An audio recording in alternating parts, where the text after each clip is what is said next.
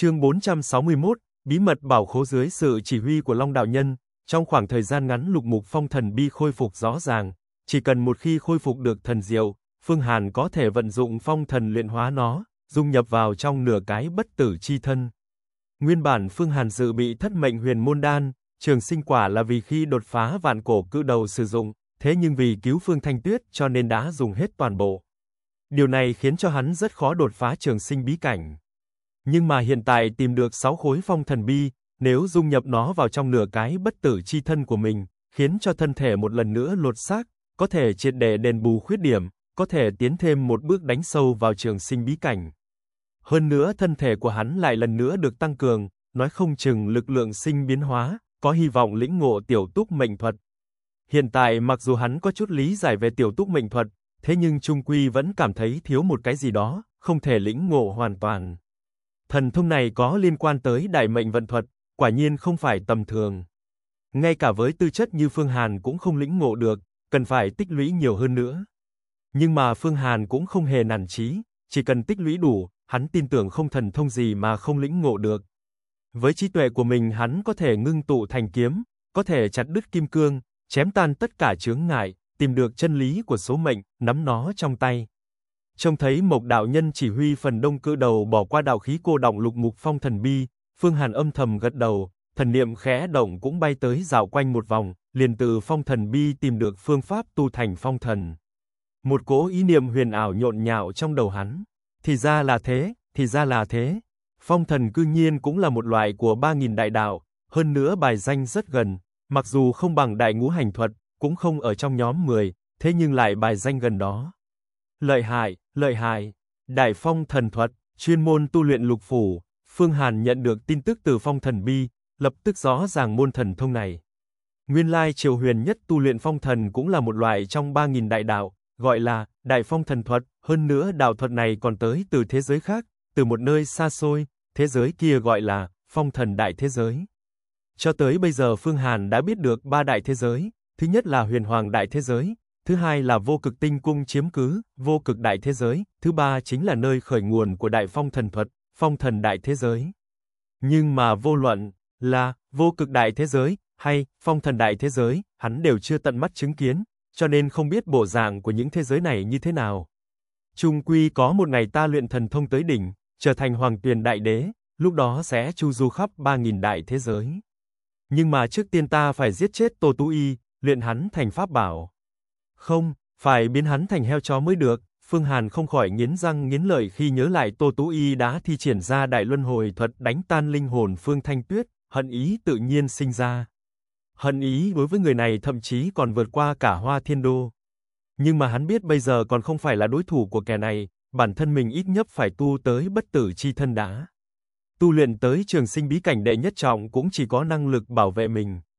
Hào gia hỏa, Phương Hàn, đã phát hiện ra một cái hồ lô trong cơ thể của phệ hồn thánh thú, ngươi xem. Đây là hồ lô hóa rồng, là một kiện đạo khí A, nhưng mà hiện tại đã bị phệ hồn thánh thú giấu ở trong người, không lấy ra được. Đúng lúc này thanh âm của Diêm vang lên truyền tới óc Phương Hàn. Hờ, thân thể Phương Hàn khẽ động tiến nhập vào trong A tị chi môn. Liền nhìn thấy khôn cùng A tị ma khí tạo thành xiềng xích dày đặc siết chặt vệ hồn thánh thú, nhưng mà lực lượng của đầu ma thú này rất cường đại, không ngừng thúc giục nguyên khí muốn thoát ra. Âm, Phương Hàn mang theo một cỗ uy nghiêm tỏa ra, ánh mắt sắc lạnh nhìn đầu ma thú này, nói, vô ích thôi, người có giấy nữa cũng không thoát ra được. Vệ hồn thú, Ngươi muốn ám toán ta, lại không ngờ rằng bị ta ám toán, ngươi cho rằng lời thề tâm ma hữu dụng với ta sao? Sai rồi, ta đã từng gặp qua một vị gọi là tâm ma lão nhân, đại tâm ma thuật của hắn còn lợi hại hơn ngươi gấp trăm ngàn lần. Ta cũng có nghiên cứu với tâm ma, còn luyện thành tiên cổ ma vực, hơn nữa còn có tuyệt phẩm đạo khí, trong nháy mắt có thể luyện hóa lời thề tâm ma yếu ớt kia. Tốt nhất là ngươi hãy giao hết chân tàng trong cơ thể ra đi. Trong lúc nói chuyện, Ba nghìn con mắt của Phương Hàn lại vận chuyển, lập tức nhìn xuyên thấu qua thân thể phệ hồn thánh thú, quả nhiên có một cái hồ lô nho nhỏ. Hồ lô này có màu tử hoàng sắc, trên mặt tựa hồ như có rồng đang chạy, cư nhiên là một kiện đạo khí. Hơn nữa Phương Hàn tựa hồ như đã đọc trong bí kíp Thiên Long có ghi lại, hồ lô này được gọi là hồ lô hóa long, nghe đồn nó chuyên môn hòa tan sinh linh của Thiên Long huyết mạch, sau đó hóa thành long nguyên lực. Hơn nữa đan dược chứa trong đó có thể gia tăng linh tính của đan dược. Còn có thể thu nhiếp địch nhân, thả ra các loại long uy. Khi Phương Hàn chấn áp thành công phệ hồn thánh thú, hắn cũng rất thèm. Thuồng chân tàng trên người đầu ma thú này. Đầu ma thú này có thể xuất ra 100 vạn viên thuần dương đan để lung lạc mình, trên người nó hẳn là rất giàu có. Nếu như không vơ vét, thật sự quá đáng tiếc. Pháp bảo này chính là tuyệt phẩm đạo khí à, nghe đồn trong ma đạo gọi là A Tị Chi Môn, cái cầu đá mà ngươi thúc giục gọi là Nại Hà Chi Kiều, nếu như ta đoán không sai mà nói, ngươi còn có một kiện pháp bảo chấn áp chư thiên luân hồi gọi là Luân Hồi Chi Bàn. Kiện pháp bảo kia đâu? Sao còn chưa tung ra, bị Phương Hàn khóa lại, đầu phệ hồn thánh thú này trái lại vẫn tỉnh táo, cũng không biết trong đầu nó đang suy nghĩ cái gì. Ngươi rất hiểu biết đấy, cư nhiên còn biết cả A Tị Chi Môn cùng Nại Hà Chi Kiều, còn có Luân Hồi Chi Bản nữa, bất quá ta không muốn kỳ kèo với ngươi, mau giao hồ lô hóa long trong thân thể ngươi ra đây, ta có thể miễn cho ngươi phải chịu thống khổ, bằng không ta sẽ để ngươi vĩnh viễn ở tuyên cổ ma vực, không thể thoát ra được. Phương Hàn phất phất tay, có phải ngươi muốn luyện chế ta thành cửu truyền hoàn hồn đan hay không? Phệ hồn thánh thú đột nhiên hỏi. Đúng vậy, đúng là ta có ý này, nhưng mà nếu như ngươi ngoan ngoãn phối hợp, ta cũng có thể tha cho ngươi một mạng. Phương Hàn thuận miệng nói, đừng gạt người nữa, ta đã hoàn toàn lĩnh giáo bản lãnh xảo trá của ngươi rồi, cho dù ta có giao hồ lô hóa long ra, ngươi cũng sẽ không bỏ qua cho ta. Phệ hồn thánh thú lắc đầu nói tiếp, lời của ngươi hoàn toàn không thể tin được. Hừ, ngươi cho rằng ngươi không giao ra ta sẽ không có cách nào đoạt được sao? Rượu mời không uống lại muốn uống rượu phạt, tự mình chuốc lấy khổ. Ở bên trong A Tị chi môn, cho dù ngươi tự bạo, nguyên khí cũng không thể tản ra, ta vẫn dễ dàng luyện hóa ngươi. Trên đỉnh đầu Phương Hàn hiện ra một đại thủ Phật quang, trong lòng bàn tay đại thủ xuất hiện một con mắt hung hăng nhập vào thân thể phệ hồn thánh thú, lập tức bắt được hồ lô hóa long trong cơ thể nó. Phệ hồn thánh thú phát ra tiếng kêu thê lương, tuy nó đã luyện thành lĩnh vực, thế nhưng phệ hồn ma vực hoàn toàn bị tuyên cổ ma vực khắc chế. Hiện tại toàn thân lại bị phong tỏa, không có chút phản kháng nào. Hồ lô hóa long hoàn toàn được lôi ra, trong lúc kéo ra, Phương Hàn cũng không mở hồ lô hóa long ra ngay, mà tung ra đại phổ độ thiền quang chiếu xả lên, trọn vẹn chiếu xả hơn một canh giờ, đột nhiên trong hồ lô phát ra một tiếng trầm đục, lúc này Phương Hàn mới phất tay mở hồ lô ra. Phệ hồn thú, ngươi còn ẩn tàng từ mẫu đô thiên bí ma thần lôi trong hồ lô hóa long, không tồi không tồi.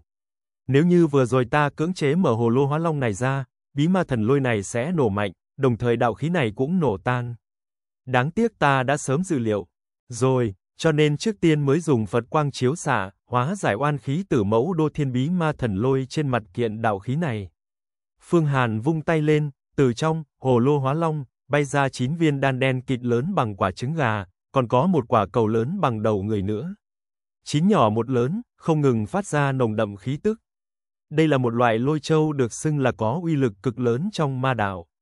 Còn lợi hại hơn rất nhiều so với ngày đó Vạn Liên Sơn dùng trăm triệu hồn phách cá mập luyện thành thiên sát sa thần lôi.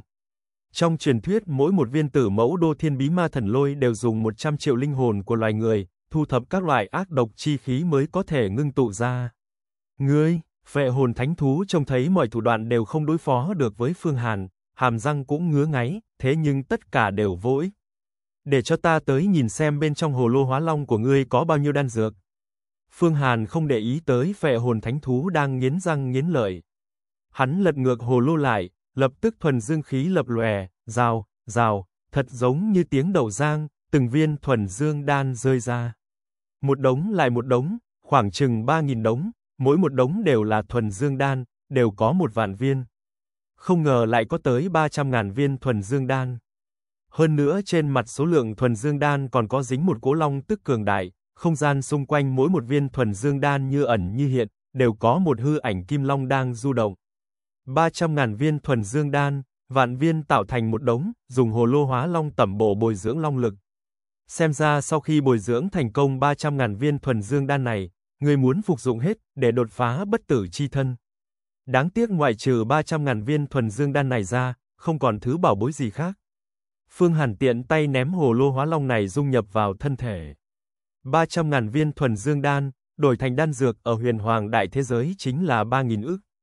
3.000 ức có thể mua được những gì? Không thể tưởng tượng được, nhưng mà một hồ lô đan dược này đều có nhiễm long lực, bồi bổ từ rất lâu rồi, không giống như thuần dương đan bình thường, Phương Hàn tự nhiên sẽ tiếp tục bồi dưỡng nó, đến lúc cuối cùng bản thân mình phục dụng, cũng có vài phần nắm chắc tu thành bất tử chi thân. Phệ hồn thú, chờ ta gom góp dược liệu còn lại luyện chế ra cửu truyền hoàn hồn đan, lúc đó ngươi sẽ triệt để diệt vong. Ngươi còn gì để nói không? Sau khi Phương Hàn thu hồ lô hóa long, 300 ngàn viên thuần dương đan, hắn liền vút vút tử mẫu đô thiên bí ma thần lôi, trong tay, cười hỏi. Trên người của ta còn rất nhiều bí mật, ta lấy một cái bí mật đổi lấy việc ngươi không luyện hóa ta nữa có được không? Vệ hồn thánh thú đột nhiên nói. Hả, bí mật gì, gợi ý một chút coi. Phương Hàn trái lại biết Vệ hồn thánh thú này cắn nuốt không biết bao nhiêu linh hồn tu sĩ, biết rất nhiều thứ, hắn hỏi như vậy là cũng muốn biết một chút bí mật có giá trị. Hắn quyết định ép đầu Vệ hồn thánh thú nói trước rồi tính sau. Là bí mật liên quan tới một cái bảo khố, hơn nữa còn là bảo khố trong huyền hoàng đại thế giới. Ta nhìn ra được ngươi tới từ huyền hoàng đại thế giới, phệ hồn thánh thú đột nhiên dùng một loại ngữ khí thần bí nói. Bí mật của bảo khố tại huyền hoàng đại thế giới, nói nghe thử coi, trong lòng Phương Hàn lại có chút hứng thú, bí mật trên người phệ hồn thánh thú hẳn là rất nhiều, nếu không khai thác một ít, cứ như vậy luyện hóa nó thành cửu chuyển hoàn hồn đan thì thật đáng tiếc. Ngươi phải đảm bảo không được luyện hóa ta ta mới nói, phệ hồn thánh thú hắc hắc cười, ngươi đừng nghĩ dùng hình bức cung, ta tùy thời cũng có thể hủy sạch trí nhớ, ngươi nên biết, tu vi của chúng ta đã đạt tới tình trạng này, bất cứ trí nhớ gì chỉ cần một ý niệm là có thể tiêu trừ toàn bộ. Hơn nữa ta có thể sửa chữa trí nhớ bản thân, khiến ngươi nhận được tin tức sai lầm. Nói đi, ta nhìn xem giá trị bí mật của ngươi như thế nào, nếu như có giá trị mà nói ta sẽ không luyện hóa ngươi, Phương Hàn chậm rãi nói, thật ra hắn đã sớm quyết định phải luyện hóa đầu phệ hồn thú này thành cửu truyền hoàn hồn đan. Cứu Phương Thanh Tuyết là chuyện trọng yếu nhất so với bất cứ bí mật bảo tàng gì. Ngươi đừng nói cho ta biết bí mật của bảo khố nổi danh nhất của trong Hoàng Huyền Đại thế giới là Thái Nguyên Tiên phủ nhé, thứ này có cho ta biết ta cũng không lấy được. Gì, ngay cả Thái Nguyên Tiên phủ mà ngươi cũng biết, thoáng cái khiến phệ hồn thánh thú chấn kinh, xem ra ngươi thật sự là người trong huyền hoàng đại thế giới, cho nên mới biết rõ huyền hoàng đại thế giới như vậy. Bất quá bí mật ta muốn nói với ngươi không phải là Thái Nguyên Tiên Phủ mà là một vị tiên tôn nổi danh cùng Thái Nguyên Tiên Tôn gọi là Bản Vũ Tiên Tôn, ngươi biết chứ, hắn có lưu lại một tòa thiên vũ chi khố. Ngươi biết bí mật này trên thế giới quả không nhiều lắm, ta mới vừa nuốt một bí mật này từ một tên tán tu. Hơn nữa còn chiếm được địa đồ cùng các loại cấm chế pháp môn của thiên vũ chi khố này. Thiên vũ chi khố, bản vũ tiên tôn, Phương Hàn vừa nghe đến hai cái tên này, trong nội tâm như thủy triều dậy sóng, đây không phải là bí mật lớn nhất trên người Hoa Thiên Đô sao, nhưng mà trên mặt hắn vẫn không biểu lộ ra chút gì, nói tiếp đi, ở bên trong thiên vũ chi khố. Của bàn vũ tiên tôn ẩn chứa vô tận bí mật, lợi hại nhất chính là hoang thần chi thi. Năm đó bàn vũ tiên tôn đối kháng với thần tộc, giết không biết bao nhiêu thần vương, thần hoàng của thần tộc rồi dùng một đoạn thần mộc vô danh cự đại luyện chế thành hoàng thần chi thi, có thể mở ra cánh cửa tiên giới, điểm hóa người tiến vào trường sinh bí cảnh. Thanh âm của vệ hồn thánh thú tràn đầy hấp dẫn nói, nếu như ngươi tìm được hoang thần chi thì có thể phụ trợ giúp ngươi bước vào trường sinh bí cảnh. Bây giờ ngươi đang là thần thông thập trọng, ta đã sớm nhìn ra trên người ngươi có khí tức của vạn cổ cự đầu, là bát bộ phù đồ, kiện trí bảo của long tộc phát ra. Ánh mắt của ngươi rất sắc bén đấy. Trên mặt Phương Hàn hiện ra nụ cười lạnh lùng. Còn nữa, ở bên trong thiên vũ chi khố có vô số vũ thần khôi lỗi. Vũ thần khôi lỗi tinh thông vũ kỹ, lực lớn vô tận, ẩn chứa vô cùng uy lực có thể cùng chống lại cao thủ thần thông thập trọng nghịch thiên cải mệnh. Nhưng mà cái này không phải là điều trọng yếu nhất, quan trọng nhất chính là bên trong thiên vũ chi khố còn có hoang thần khôi lỗi. Là năm đó bàn vũ tiên tôn chém chết vô số thần hoàng dùng thi thể của bọn hắn luyện chế thành khôi lỗi. Trong truyền thuyết có 9981 pho, nếu như tìm được tới tay, ngươi chẳng khác gì có 9981 vị vạn cổ cự đầu làm hộ pháp. Giết địch cho ngươi, giúp ngươi hấp thu nguyên khí, luyện chế pháp bảo cho ngươi, luyện đan dược nữa, phệ hồn thánh thú lại lần nữa nói, nhất là hoang thần chi thi là một kiện thái cổ thần mộc vô danh, là tinh hoa của hỗn hợp vô tận linh hồn thần tộc, luyện chế mà thành tuyệt phẩm đạo khí, chỉ thiếu chút nữa biến thành tiên khí, thật ra nó đã có lực lượng của tiên khí, thế nhưng khuyết thiếu tiên đạo pháp tắc mà thôi. Nhưng mà ngươi lại có thứ đó, có thể chuyển hóa huyết mạch của mình thành huyết mạch hoang thần, lực lượng bội tăng. Chớ nói chi là trong bảo khố có vô số pháp bảo, đạo khí. Năm đó bàn vũ tiên tôn thật ra có thể phi thăng lên tiên giới, thế nhưng vì quá kiêu ngạo, chém giết vài đại quân của thần tộc, kinh động tới thần đế của thần tộc xuất thế, thần đế liền giết chết hắn. Nhưng mà thiên vũ chi khố lại được ẩn giấu đi, chỉ có ta mới có thể y theo địa đồ tìm được thiên vũ chi khố chính thức. Hoang thần chi thi, vũ thần khôi lỗi, hoang thần khôi lỗi, thần tộc, bàn vũ tiên tôn, thiên vũ chi khố, hoa thiên đô, ha ha ha ha, đi mòn gót giày không ngờ lại tìm thấy, trong lòng Phương Hàn âm thầm lẩm bẩm, Hoàng Tuyền bảo khố có đám người Tô Tú Y kia vây quanh, ta không cách nào mở ra, thế nhưng nếu như ta biết bí mật của Thiên Vũ chi khố, có thể mở ra trước, chiếm tiện. Nghi, sở dĩ Hoa Thiên Đô được Vũ Hóa Môn coi trọng như vậy, đơn giản chính là vì bí mật của Thiên Vũ chi khố trên người hắn. Nếu như ta biết bí mật này rồi, như vậy giá trị của hắn sẽ như thế nào? Còn giá trị nữa không? Nhưng mà phải biết được bí mật này từ trên người phệ hồn thú đã, chuyện này cũng không phải ăn ngay được, mình phải tiếp tục giả vờ mới được. Ánh mắt lưu chuyển trong chốc lát, Phương Hàn lại trầm mặc không nói. Trên mặt phệ hồn thú cũng nở nụ cười xảo trá, tuy ngươi lợi hại, đã tế luyện phong thần bi của ta rồi định dung nhập vào thân thể làm cứng rắn lục phủ, thế nhưng những thứ này nhiều nhất chỉ làm tăng thực lực của ngươi mà thôi, cho dù ngươi có căn cơ hùng hồn, nhưng sau khi bước vào trường sinh bí cảnh cũng không có tác dụng gì nữa. Ngươi tích xúc càng nhiều, cánh cửa tiên giới càng kiên cố, càng không mở rộng chào đón ngươi. Bất cứ đan dược gì cũng không có tác dụng đối với ngươi. Nhất định phải tìm được hoang thần chi thi cuối cùng bước vào trường sinh bí cảnh thậm chí tu thành bất tử chi thân sau đó lại tiếp tục lĩnh ngộ pháp tắc không gian. Ngươi cho rằng ta không biết bí mật của thiên vũ chi khố sao? Phương Hàn ha ha cười nói, đại bổn nguyên thuật của bàn vũ tiên tôn ta cũng đã học hết, trên thực tế ta chính là người của vũ hóa môn trong hoàng huyền đại thế giới, trong vũ hóa môn ta có một người tên là Hoa Thiên Đô, hắn chiếm được truyền thừa của bàn vũ tiên tôn, có đại hoang cổ lô.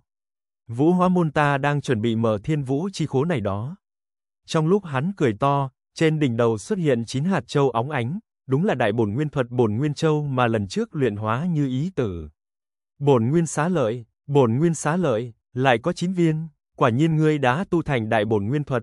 Vệ hồn thú cả kinh nói, đúng vậy, hết thảy bí mật của thiên vũ chi khố ta đều biết, cho nên bảo tàng này đối với ta mà nói căn bản không phải là bí mật gì. Phương Hàn dùng kế lạt mềm buộc chặt, hiện tại ta không muốn nói với ngươi nữa, ta phải đi đại lục hỗn loạn mua dược liệu chuẩn bị đem ngươi luyện hóa rồi hãy nói. Đừng, đừng làm vậy, ta biết bí mật của thiên vũ chi khố không chừng còn nhiều hơn ngươi. Vệ hồn thú vội vàng nói, hơn nữa cả môn phái các ngươi đi đoạt bảo, ngươi chưa hẳn đã chiếm được chỗ tốt, nếu như biết được càng nhiều bí mật, ngươi sẽ càng có lợi. Đây là địa điểm giấu thiên vũ chi khố, là một tấm bản đồ, ngươi hãy xem qua đi, nếu như có giá trị ta sẽ đem một phần địa đồ khác cho ngươi, còn có một ít bí mật, các loại cấm chế nữa muốn trao đổi cùng ngươi. Trong lúc nói chuyện phệ hồn thú há mồm phun ra một đạo hắc khí, đạo hắc khí này. Lưu chuyển ngưng tụ thành một tấm địa đồ chằng chịt. Phương Hàn khẽ vẫy tay, tấm bản đồ này liền rơi vào trong tay hắn, hắn mỉm cười nhìn, nhớ kỹ, sau đó thu lấy. Vẻ mặt vẫn bất động, cũng không lên tiếng, chẳng qua hắn chỉ cười lạnh một tiếng rồi xoay người rời đi. Này, này, này, tại sao ngươi không có ý kiến gì vậy? Vệ hồn thú vội vàng nói, đây là do ta lấy được từ lần ám toán một vị trưởng lão của vô cực tinh cung. Vô cực tinh cung mưu đồ xâm chiếm huyền hoàng đại thế giới đã lâu, bọn họ cũng rất rõ ràng các loại bảo tàng trên huyền hoàng đại thế giới. Tư liệu của bọn họ tuyệt đối chi tiết không có sai sót, ta không hề có nửa điểm lừa ngươi đâu. Hừ, ngươi cứ nghĩ lại xem, chỉ đưa ra một mảnh địa đồ nhỏ nhoi căn bản không cách nào cứu được tính mạng của ngươi. Phương Hàn cũng không nói thêm gì nữa, hắn hừ lạnh một tiếng rồi xoay người rời đi, ly khai A Tị Chi Môn. Ha ha ha ha ha, ha ha ha, vừa ra khỏi A Tị Chi Môn, Diêm lập tức cười như điên, nói, lần này thật sự là gặp đại vận rồi, cư nhiên có thể từ trên người phệ hồn thú chiếm được bí mật của thiên vũ chi khố, nếu như không có bí mật này, hoa thiên đô cũng chỉ là một đống phân mà thôi. Hắn tu luyện đến trường sinh bí cảnh thì thế nào, còn không phải cũng bị chúng ta đùa chơi chết sao? Trước tiên đừng vui mừng quá sớm, phệ hồn thánh thú phi thường giảo hoạt, những chuyện từ trong miệng nó không chừng sẽ không chính xác. Ta còn phải thi triển ra một chút thủ đoạn moi ra nhiều chuyện hơn nữa. Hoang thần chi thi là thứ tốt, ta không thể để Hoa Thiên Đô tìm được. Nếu như hắn chiếm được kiện tuyệt phẩm đạo khí này, tìm được hoang thần khôi lỗi từ trong đó, ta đây cũng chỉ có thể lâm vào cảnh vạn kiếp bất phục mà thôi. Những bí mật từ trong miệng phệ hồn thánh thú rất có giá trị đấy. Ngươi cẩn thận trông coi nó cho tốt, Phương Hàn tỉnh táo nói.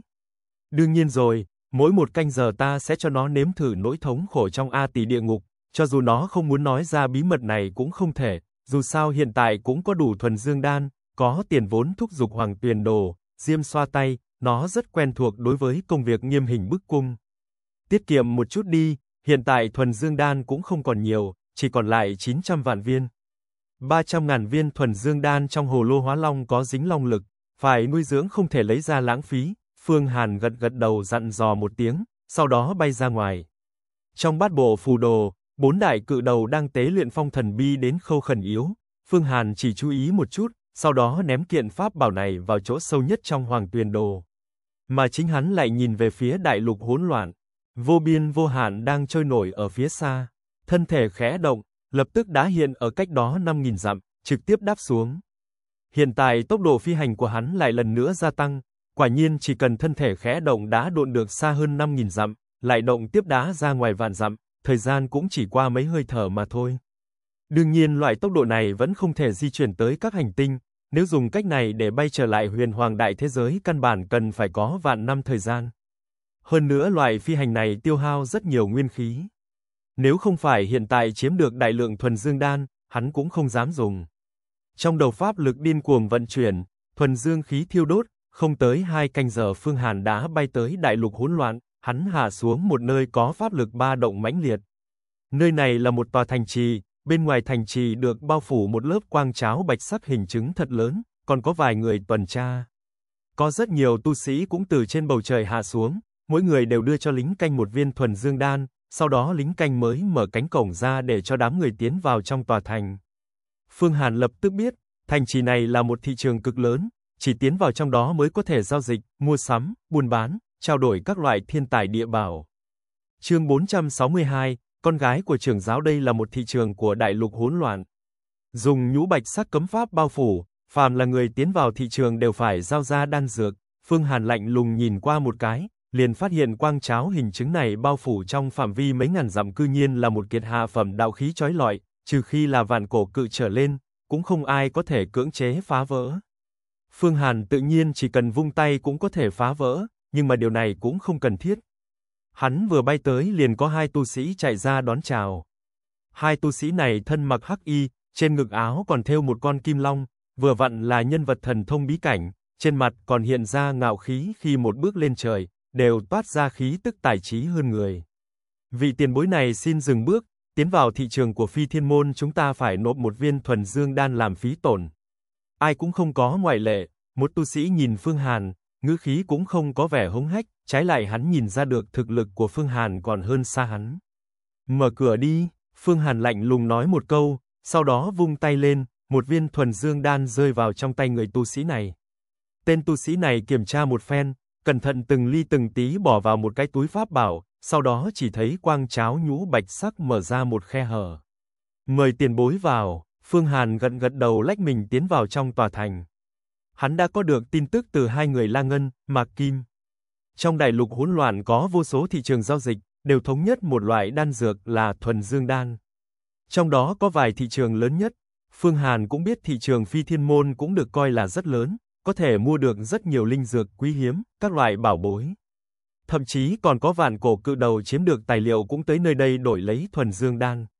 Nhân sâm vạn năm thành hình, đã tu thành tinh linh dùng để nấu thuốc, có thể tăng cường 10 năm thọ nguyên, một khối tinh thạch hư không, bên trong ẩn chứa không gian chi lực có thể luyện chế thành thánh phẩm chữ vật túi pháp bảo, túi càn khôn. Chỉ cần 10 viên thuần dương đan. Đến xem, đến xem đi, thất diệp linh chi thảo là tài liệu tốt để phối chế chú nhan đan. Một viên thuần dương đan một cây, có 400 cây. Mau tới mua đi, Phương Hàn vừa vào trong thành, một hồi không khí ẩm ý đập vào mặt, thật giống như tiến nhập vào một khu chợ bán đồ ăn vậy.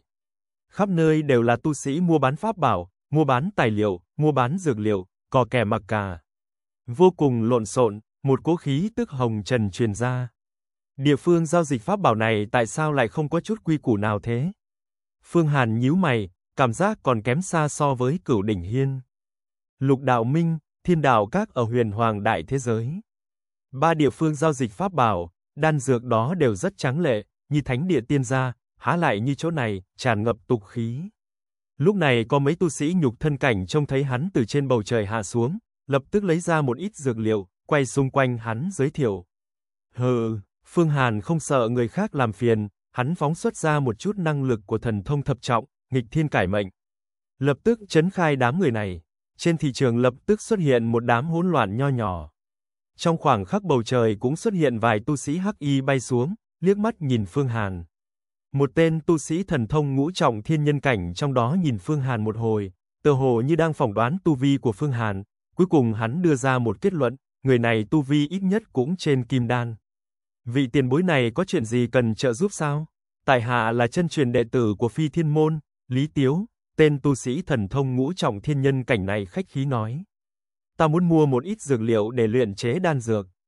Dùng để đột phá bình cảnh trường sinh bí cảnh, người biết nơi nào mua bán dược liệu không?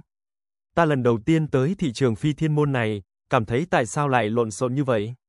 Phương Hàn nói, nguyên lai tiền bối là cường giả thần thông thập trọng nghịch thiên cải mệnh, khó trách lại có khí tức cường đại như vậy. Tiền bối muốn mua chút đan dược sao? Ở bên ngoài này không có thứ gì đáng mua đâu, chỉ dành cho một ít tu sĩ cấp thấp giao dịch mà thôi, không đáng để tiền bối liếc mắt, xin tiền bối đi theo ta.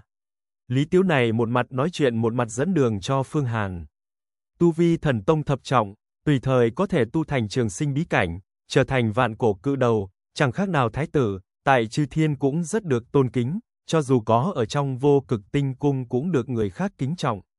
Dù sao chân truyền đệ tử ở vô cực tinh cung cũng chỉ là thần thông thất trọng kim đan tiểu cự đầu. Kém ba bậc so với thần thông thập trọng nghịch thiên cải mệnh. Tiền bối, phi thiên môn chúng ta liên hiệp ký một khế ước với 13 đạo môn đông phương trong đại lục hỗn loạn, ở đây chúng ta có thể mua được hết thảy dược liệu chân quý. Phía trước là phi thiên bảo lâu của phi thiên môn chúng ta. Phương Hàn phóng mắt nhìn lại, quả nhiên phía trước xuất hiện một tòa lầu cao 13 tầng khí thế uy vũ, chung quanh lầu cao bao phủ mây mù, tiên khí bức người, đại phóng quang hoa. Không tệ không tệ, ở đây còn có một chút khí tức của tiên đạo nữa a. Phương Hàn tiện tay ném năm viên thuần dương đan vào trong tay Lý Tiếu, xem như khen thưởng. Đa tạ tiền bối, Lý Tiếu. Liền vội vàng khom người nói, năm viên thuần dương đan tại huyền hoàng đại thế giới tương đương với năm vạn viên đan bình thường, cũng không phải con số nhỏ. Tùy tiện nói một hai câu, dẫn đường mà được số lượng đan dược này, quả thật là chuyện tình rất tiện nghi. Trong lúc nói chuyện, Phương Hàn đã hạ xuống tòa, phi thiên bảo lâu, này. Tại cửa ra vào của tòa lầu có hai tu sĩ đang khoanh chân ngồi đó, đều là cường giả thần thông thất trọng kim đan. Bất quá trong kim đan của bọn họ chỉ ẩn chứa năm loại thần thông, đều là loại thần thông căn bản nhất ngũ hành thần thông, là loại tu sĩ kim đan nhược tiểu nhất. Lý Tiếu, người mang người tới đây làm gì? Không biết phi thiên bảo lâu chỉ cho phép cường giả từ thần thông thất trọng kim đan trở lên tiến vào mua bán hay sao? Hai người này mở to mắt quát hỏi. Hai vị sư huynh, vị tiền bối này chính là nhân vật thần thông thập trọng nghịch thiên cải mệnh rất cường hoành.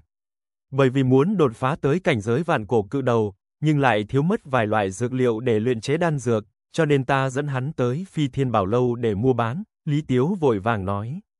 Thì ra là cường giả thần thông thập trọng nghịch thiên cải mệnh. Thất lễ, thất lễ, mong tiền bối đừng trách. Hai tu sĩ kim đan vội vàng nói, xin mời tiền bối, Phương Hàn uy vũ tiến vào nhưng trong lòng lại rất thư sướng, trên đại lục hỗn loạn này, lực lượng áp đảo hết thảy. Chỉ cần có đủ thực lực là có thể được người khác tôn kính.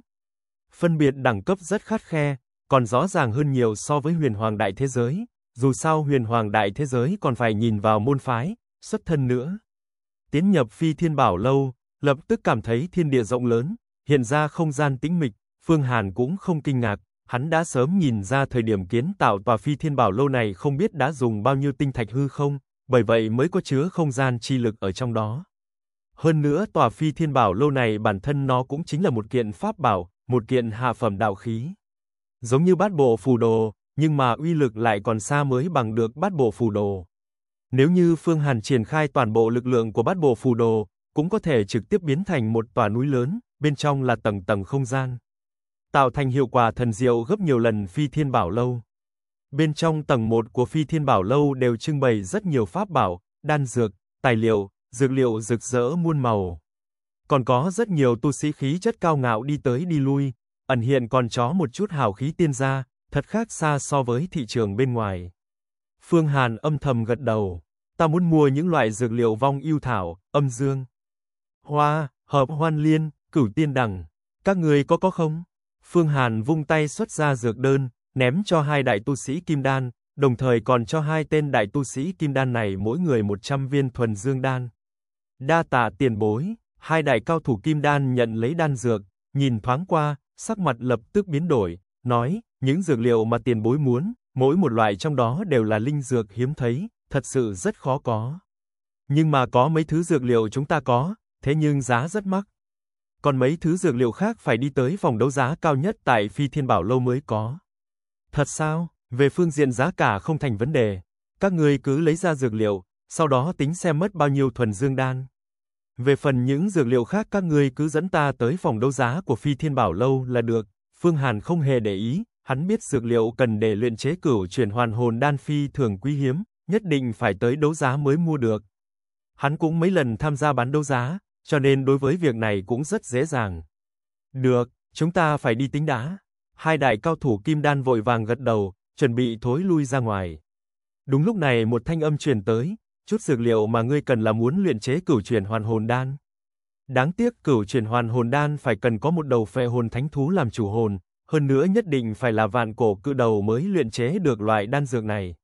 Lại có người hiểu phương pháp luyện chế cửu chuyển hoàn hồn đan. Trong lòng Phương Hàn âm thầm cả kinh, phải biết rằng Thương Ảnh Tử, Lạc Thủy Bắc cũng không biết pháp môn cụ thể để luyện chế, chỉ có Sở Nam công tử mới biết được. Hắn xoay đầu lại, liền thấy một nữ tử. Nữ tử này thập phần thanh tú, Phương Hàn vận dụng ma nhãn quan sát, phát hiện sau đầu nữ tử này phát ra một đoàn ánh sáng thật giống như ánh sáng do tấm kính phản xạ ra, vô cùng mãnh liệt, chính mình cư nhiên cũng không nhìn thấu tu vi của người này, thế nhưng tu vi của nữ tử này khẳng định không phải vạn cổ cự đầu. Bởi vì hắn sẽ có cảm ứng khi vạn cổ cự đầu hấp thu nguyên khí tiên giới. Nhưng mà nếu như đạo hữu có hứng thú, ta có thể cung cấp mấy loại dược liệu này, không cần phải tới phòng đấu giá, không biết đạo hữu nghĩ sao? Những loại dược liệu này ở trên trong phòng đấu giá cũng rất khó mua. Nữ tử này chậm rãi đi tới, lúc này Phương Hàn mới nhìn rõ diện mục của nàng. Mặt dung tú khí, giống như một đầu linh tước, vô cùng linh động, nhưng mà thân thể nàng lại toát ra một cỗ khí tức uy nghiêm, loại khí chất này có điểm giống như trưởng giáo Vũ Hóa Môn, Phong Bạch Vũ. Không biết tại sao Phương Hàn có một loại cảm giác, nữ tử trước mắt này lại rất giống Phong Bạch Vũ, hắn ngẩn người một lát, sau đó khôi phục thần trí, nói, cô nương, cô thật sự có những loại dược liệu này. Muốn bao nhiêu thuần dương đan, ta sẽ mua lại toàn bộ. Xin hỏi quý danh của cô nương, ta gọi là Phong Giao Quang, ánh mắt nữ tử này híp lại, cao thấp đánh giá Phương Hàn, trên mặt lại hiện ra vẻ mỉm cười, nói, nếu như đạo hữu thật sự muốn những loại dược liệu này, ta có thể cung cấp cho đạo hữu, nhưng mà ta muốn xin đạo hữu làm một việc.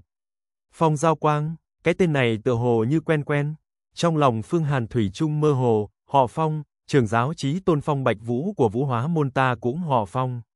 Phong Giao Quang trước mặt này lại có vài phần giống Phong Bạch Vũ. Chẳng lẽ thật sự có quan hệ với trưởng giáo trí tôn Vũ Hóa Môn ta? Trong óc hắn lóe lên muôn vàn suy đoán, nữ tử kia lại lần nữa hỏi, đạo hữu, ý của ngươi thế nào? Tốt, rất tốt. Phương Hàn phục hồi lại tinh thần, ta rất cần những dược liệu này, quả thực phải mất rất nhiều khí lực mới kiếm được, Phong cô nương cư nhiên trực tiếp tặng ta, không biết là muốn làm chuyện gì. Vấn đề này khẳng định không hề đơn giản, quả thật là không đơn giản, nói thật ra, ta cũng muốn luyện chế cửu chuyển hoàn hồn đan, nó có tác dụng rất lớn. Ta đã chuẩn bị xong những dược liệu này, chỉ thiếu một đầu phệ hồn thánh thú. Ta nghe nói gần đây có một đầu phệ hồn thánh thú hung mãnh xuất hiện tại hỗn loạn giác, đạo hữu có thể đi bắt cùng ta không? Khi chúng ta bắt được phệ hồn thánh thú, sẽ cùng nhau luyện chế đan dược, thế nào? Trên mặt Phong Giao Quang hiện ra dáng vẻ tươi cười, nụ cười rất yêu nhã. Bắt phệ hồn thánh thú, ta cũng không có bản lĩnh này. Phương Hàn nghe vậy liên tục lắc đầu nói, nghe đồn đầu phệ hồn thánh thú này không biết hủy diệt bao nhiêu môn phái, hiện tại chỉ sợ đã tu thành bất diệt ma hồn, tương đương với cảnh giới bất tử chi thân, hơn nữa lại vô cùng xảo trá. Ngay cả vạn cổ cự đầu cũng bị ám toán. Thật sao, nếu như đạo hữu không nắm chắc, tại sao lại thu thập tài liệu luyện chế cửu truyền hoàn hồn đan trước? Phong giao quang đột nhiên truyền tới một cỗ thần niệm, đừng tưởng người khác không biết rõ đạo hữu, ta có thể cảm giác được, thực lực của đạo hữu rất mạnh, trên người còn có khí tức của vạn cổ cự đầu, hơn nữa lại có đạo khí lợi hại, khẳng định có thể hàng phục được phệ hồn thánh thú. À, Phương Hàn liếc mắt nhìn Phong Giao Quang, một lần nữa vận dụng 3.000 ma nhãn quan sát nữ tử này, nhưng chỉ phát hiện một đoàn ánh sáng chói phát ra từ người nàng, ngoài ra không thấy rõ bất cứ thứ gì cả. Đoàn ánh sáng này cực kỳ thần diệu, lực lượng của Hoàng.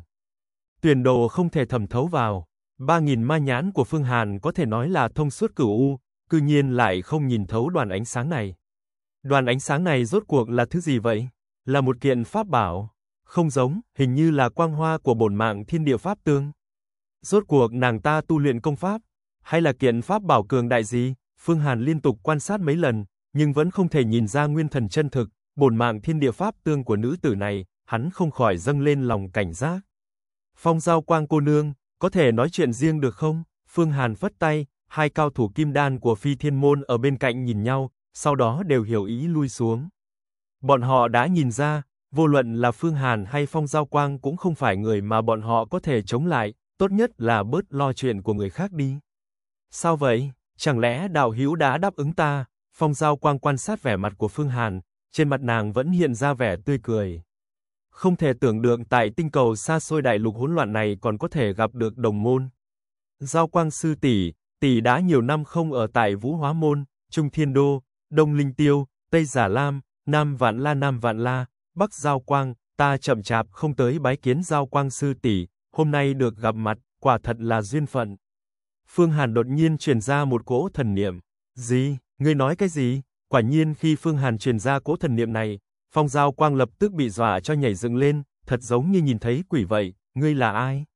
Ngươi rốt cuộc là ai? Trong nháy mắt khi Phong Giao Quang bị dọa nhảy dựng lên, ánh mắt của nàng cũng bộc phát ra quang mang sắc bén mà trước đó chưa từng có. Ngay lập tức Phương Hàn cũng có chút cảm giác trời đất quay cuồng, một đoàn ánh sáng ầm ầm nổ mạnh trong đầu hắn, toàn bộ thế giới đều sáng rực, thật giống như mặt trời trong nháy mắt hủy diệt hết thảy, ở bên trong đại thế giới này, toàn bộ đều là cực quang, tất cả đều là ánh sáng mênh mông khủng bố tràn ngập vũ trụ.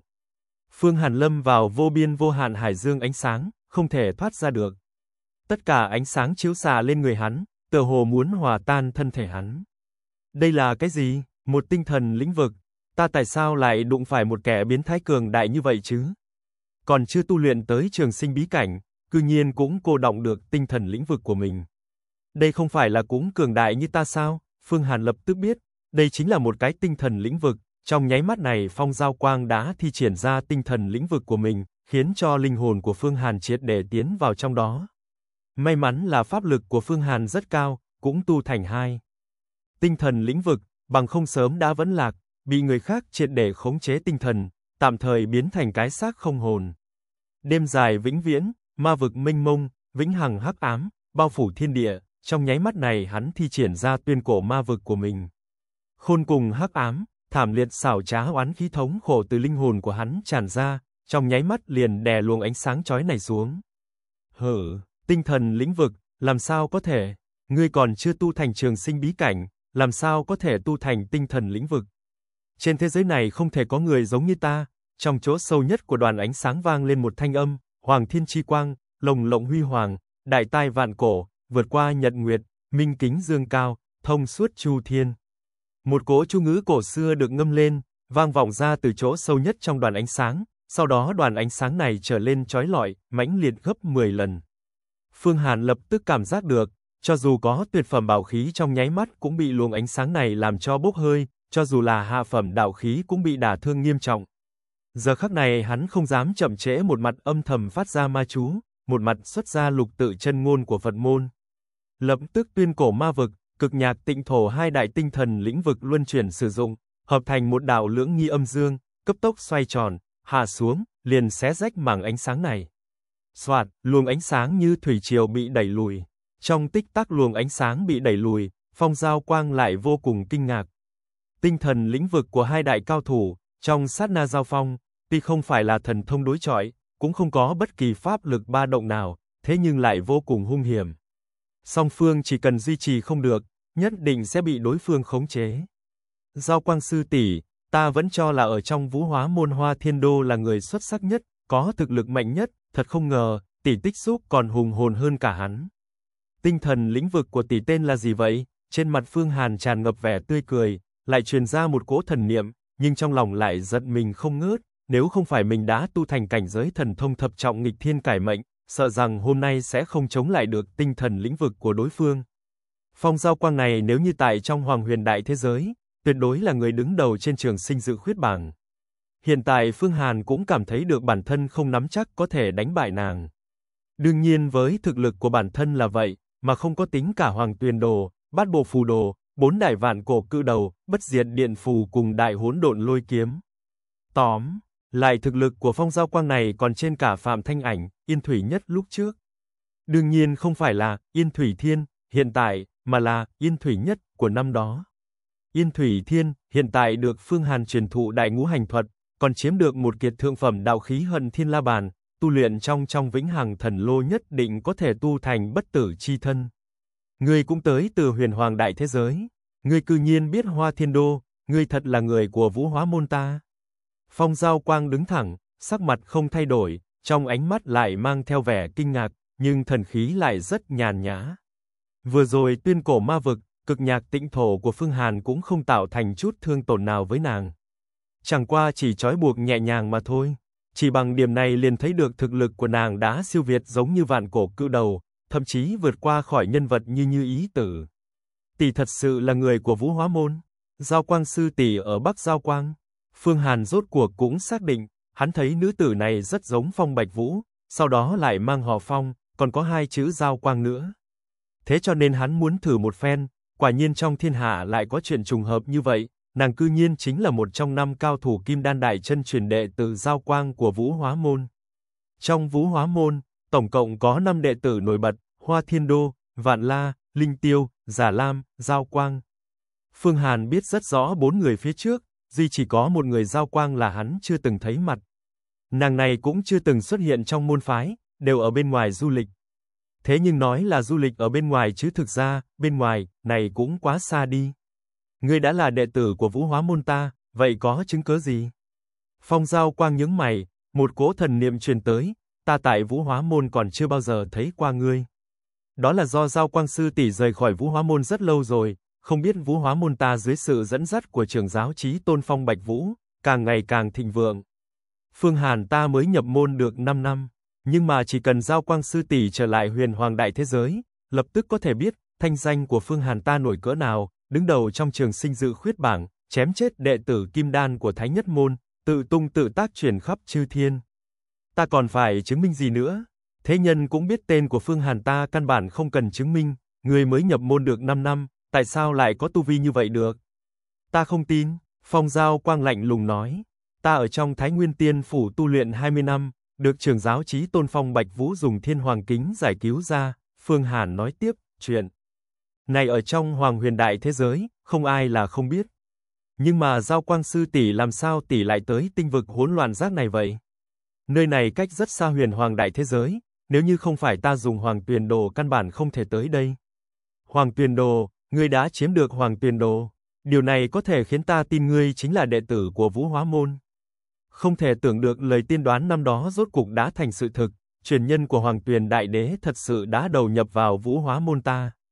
Thần niệm của Phong Giao Quang kịch liệt chấn động, lời tiên đoán gì? Phương Hàn cũng âm thầm cả kinh, nhưng mà hắn cũng không có hỏi sâu thêm về vấn đề này, mà là hỏi tới một vấn đề khác, Giao Quang Sư tỷ đã mang họ Phong, ta xem tướng mạo của tỷ có vài phần giống trưởng giáo chí tôn Phong Bạch Vũ thì phải. Đúng vậy, ta là nữ nhi của Phong Bạch Vũ, bất quá ta không nhận lão làm cha. Phong Giao Quang tựa hồ như rất không khách khí với Phong Bạch Vũ, gọi thẳng kỳ danh, ta đã tới gần vô cực đại thế giới này được hơn 10 năm rồi, chính là vì tìm cơ hội giải cứu mẫu thân ta đang bị nhốt trong vô cực tinh cung. Thật vừa vặn, Phương Hàn ngươi là người của Vũ Hóa môn ta, chúng ta là đồng môn, ngươi có thể giúp ta không? Chỉ cần giúp ta bắt được vệ hồn thánh thú luyện chế thành cửu chuyển hoàn hồn đan. Để ta phục dụng xuống, có thể khôi phục được trí nhớ từ thời viễn cổ, nhất cử luyện tới trường sinh bí cảnh. Nếu như ngươi có thể giúp ta, ta sẽ trợ giúp ngươi đoạt được đại vị trưởng giáo Vũ Hóa môn. Ta có thể khắc chế thiên hoàng kính của Phong Bạch Vũ. Chương 463, Hồng Mông Thiên Đạo Phương Hàn cảm thấy rất kinh ngạc đồng thời cũng rất trùng hợp. Chính mình đi tới hỗn loạn giác tinh vực của vô cực thế giới, không ngờ có thể gặp được đồng môn. Bắc Giao Quang đã rất lâu không xuất hiện, bây giờ bỗng ló mặt, nàng họ Phong, lại chính là con gái của Phong Bạch Vũ. Hơn nữa đạo thuật của nàng rất cao thâm e rằng không thể tưởng tượng. Nhưng mà có thể gặp đồng môn ở đây cũng coi như là một chuyện tốt, thế nhưng có một đầu phệ hồn thánh thú, cũng chỉ có thể luyện thành 9 viên cửu chuyển hoàn hồn đan cứu Phương Thanh Tuyết, mặc dù Phong Giao Quang là đồng môn, thế nhưng không có cảm tình thâm hậu gì với Phương Hàn, Phương Hàn há có thể chỉ vì nàng là con gái của Phong Bạch Vũ mà nhường đầu ma thú này, đương nhiên hắn không hề đề cập tới chuyện mình đã bắt được đầu phệ hồn thánh thú. Ta hoặc là đệ tử Vũ Hóa môn đều rất coi trọng đại vị trưởng môn, nhưng mà tuyệt đối sẽ không chém giết cướp đoạt đại vị trong tay trưởng giáo chí tôn Phong Bạch Vũ. Ta cùng Hoa Thiên Đô có ước chiến, sau 5 năm nữa sẽ giao thủ cùng hắn triệt để giết chết hắn. Sau đó đại vị trưởng môn sẽ là của ta, Phương Hàn căn bản không tin khi nghe Phong Giao Quang nói có pháp môn khắc chế Thiên Hoàng Kính. Thiên Hoàng Kính là cái gì? Bảo bối của Thiên Hoàng một trong thượng cổ Tam Hoàng. Có được Hoàng Kính này, kính sáng dương cao, nhìn rõ Chu Thiên, không chỗ nào không thể điều tra, thậm chí có thể suy tính trước tương lai.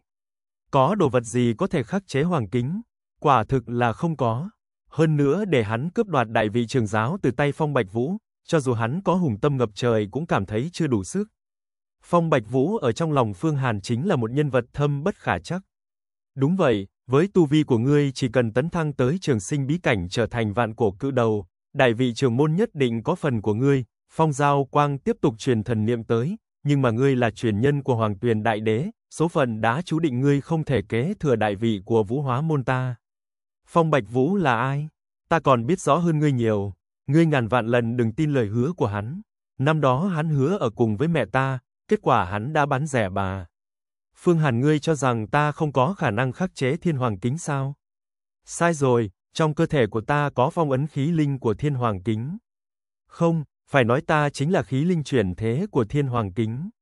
Nhưng mà Phương Hàn, đạo thuật của ngươi đúng là rất lợi hại, cư nhiên cũng luyện thành tinh thần lĩnh vực, hơn nữa lại là hai cái. Xem ra ta thôi toán đúng, hôm nay tới Phi Thiên Bảo Lâu quả nhiên có thể tìm được người trợ giúp.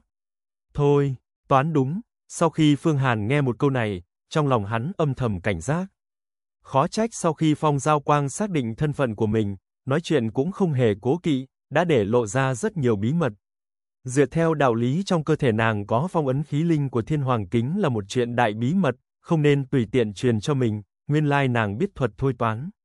Chính là vì phong giao quang tính được mình sẽ tới, cũng không tạo nên uy hiếp với nàng, cho nên mới để lộ ra một ít bí mật. Nói như vậy, nhưng tu sĩ có thể tính ra bảy phần đã không tầm thường rồi. Biết thôi toán chi thuật, là dạng người thập phần khủng bố. Thôi toán chu thiên, việc trong tương lia chẳng khác gì đảo lộn pháp tắc thiên đạo, trong chỗ tối tăm sẽ lọt vào sự cắn trả của thiên địa pháp tắc, có rất nhiều kẻ là thái thượng trường lão của thái nhất môn, tu vi cực cao, lĩnh ngộ không gian, thời gian, tạo vật, bao gồm rất nhiều pháp tắc, khi thôi toán tương lai, kết quả tâm ma nổi lên, bị thiên địa pháp tắc cắn trả, trực tiếp tử vong. Hiện tại Phương Hàn cũng không dám tùy tiện thôi toán, hơn nữa hắn cũng không có pháp môn thôi toán. Phong giao quang này có thể thôi toán, dự cảm mọi sự tình. Không thể nghi ngờ, đó là nguyên nhân do trong cơ thể nàng có khí linh của thiên hoàng kính. Khó trách nàng có thực lực mạnh như vậy. Giao quang sư tỷ, lần này đồng môn chúng ta gặp mặt tại đại lục hỗn loạn xa xôi này, có thể nói là cố chi tha hương gặp mặt, thật sự là việc đáng mừng. Phương Hàn trầm mặc một hồi, rồi nói, chúng ta đã là đồng môn, hết thảy mọi chuyện cũng có thể từ từ thương lượng. Không bằng trước tiên tìm một chỗ cẩn thận bàn lại đi. Ta vừa vặn muốn đối phó với sở nam công tử là bắc đấu điện chủ của vô cực tinh cung. Tốt lắm, ta vừa vặn muốn tới phòng đấu giá của phi thiên bảo lâu, nhìn xem có thứ bảo bối tốt gì không để mua. Nghe đồn có một ít tàn phiến của đạo khí, nếu như có thể mua được sẽ trợ giúp ta phục chế bản thể của thiên hoàng kính. Phong Giao Quang gật gật đầu nói, Phương Hàn, ngươi theo ta cùng đi nhé. Hiện tại thân phận của ta là trưởng môn của môn phái Giao Quang trên đại lục hỗn loạn, cũng tạo ra được chút cơ nghiệp nho nhỏ. Nhưng mà trên đại lục hỗn loạn này, môn phái mạnh nhất chính là thập tam phái, bọn họ liên hợp cùng một chỗ nắm giữ rất nhiều tài nguyên. Trưởng môn của thập tam phái này đều là vạn cổ cự đầu, thậm chí còn có bất tử chi thân. Cho nên bọn họ có lực lượng chấn áp một phương, nhưng mà chỉ cần ta luyện chế thành cửu truyền hoàn hồn đan là có thể phá giải cái kén chi mê, sẽ đánh thức một phần trí nhớ từ thời viễn cổ của khí linh thiên hoàng kính, đồng thời dễ dàng bước vào trường sinh bí cảnh. Đến, lúc đó không tới 3 năm có thể sơi tái cả đại lục hỗn loạn này. Trong vòng 10 năm ta có thể bằng vào tầng tầng quan hệ chậm rãi tiến vào trong vô cực tinh cung. Mẹ của tỷ chẳng lẽ là người của vô cực tinh cung? Sao lại có quan hệ với trưởng giáo vậy? Phương Hàn hỏi, ba ngàn năm trước vô cực tinh cung phái ra thánh nữ đi huyền hoàng đại thế giới. Thánh nữ chính là mẹ ta, sau đó bà phát sinh tình cảm với Phong Bạch Vũ, không lâu sau thì sinh ta ra. Thế nhưng sau này vô cực tinh cung biết chuyện, phái người bắt mẹ ta trở lại, Phong Bạch Vũ lại không hề quan tâm. Thần niệm của Phong Giao Quang còn lẫn tiếng cười lạnh, sau này ta biết chuyện, thế cho nên bản thân liền khổ luyện thần công, sau khi tu tới Kim Đan, liền tới đại lục hỗn loạn này âm thầm gây dựng. Ta đoán được năm nay sẽ xuất hiện một bước ngoặt, xem ra Phương Hàn ngươi chính là bước ngoặt trong đời ta rồi. Giao Quang Sư tỷ muốn duy trì đại nghiệp, để ta phụ trợ, ta tự nhiên sẽ không thể xem thường. Phương Hàn gật gật đầu nói, đoạn thời gian này ta muốn ở hỗn loạn giác tu luyện, hy vọng có thể tu thành trường sinh bí cảnh rồi mới trở về.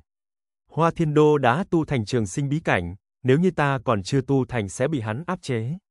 Phương Hàn, nghe ta nói một câu, tuyệt đối không thể tin Phong Bạch Vũ, đại vị trưởng giáo của Vũ Hóa Môn không dễ tranh đoạt đâu.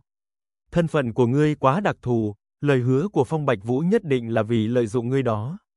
Phong Giao Quang lại truyền thần niệm tới, sau đó nàng khoát khoát tay, bỏ đi, không nói chuyện này nữa, nói nữa ngươi cũng không tin.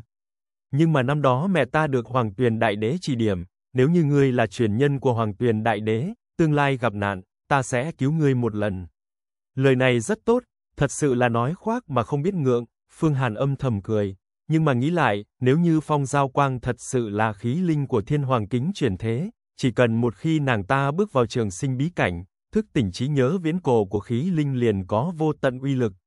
Đi thôi, sau khi hô lên một câu, phong giao quang liền đi tới chỗ sâu trong phi thiên bảo lâu, Phương Hàn cũng đi bên cạnh, đồng thời âm thầm quan sát. Đi qua vài cái không gian, trước mặt đột nhiên sáng bừng. Một phòng đấu giá cự đại hiện ra trước mắt, người ở đây rất tất bật, đều ngồi ở trên từng cái ghế rất rộng, cùng đợi bảo vật mang ra bán đấu giá. Phương Hàn nhìn lướt qua, người trong tràng đều là nhân vật cấp bậc cường giả vượt qua thần thông thất trọng kim đan. Nhưng mà hắn cũng không kinh ngạc, bởi vì chỉ có cao thủ kim đan trở lên mới được tiến vào trong phi thiên bảo lâu. Trong đại lục hỗn loạn chỉ có cường giả thần thông thất trọng.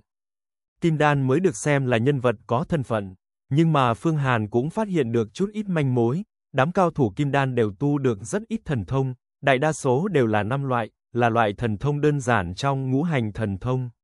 Lực lượng nhỏ yếu, hơn nữa rất khó tiến thêm, tiềm lực của đám người này không lớn. Đây là vị trí của ta, ngồi xuống đi, phong giao quang tới giữa trường đấu giá, tìm được một chỗ ngồi, chỗ này rất lớn, dài rộng chừng hơn 10 trượng, giống như một cái sân nhỏ, hai bên chỗ ngồi còn có màn lụa tre, thập phần hoa lệ. Trung quanh bao phủ mây mù, Phương Hàn cũng không khách khí khoanh chân ngồi lên, nhìn đi, đó là trưởng giáo của Giao Quang Phái, Giao Quang Tử. Nàng ta rất không đơn giản, đột ngột xuất hiện vào 10 năm trước, trên hỗn loạn thành lập Giao Quang Phái, những năm nay phát triển rất nhanh, xác thực đã bồi dưỡng được một đám đệ tử, hàng phục được một ít tán tu từ bốn phía.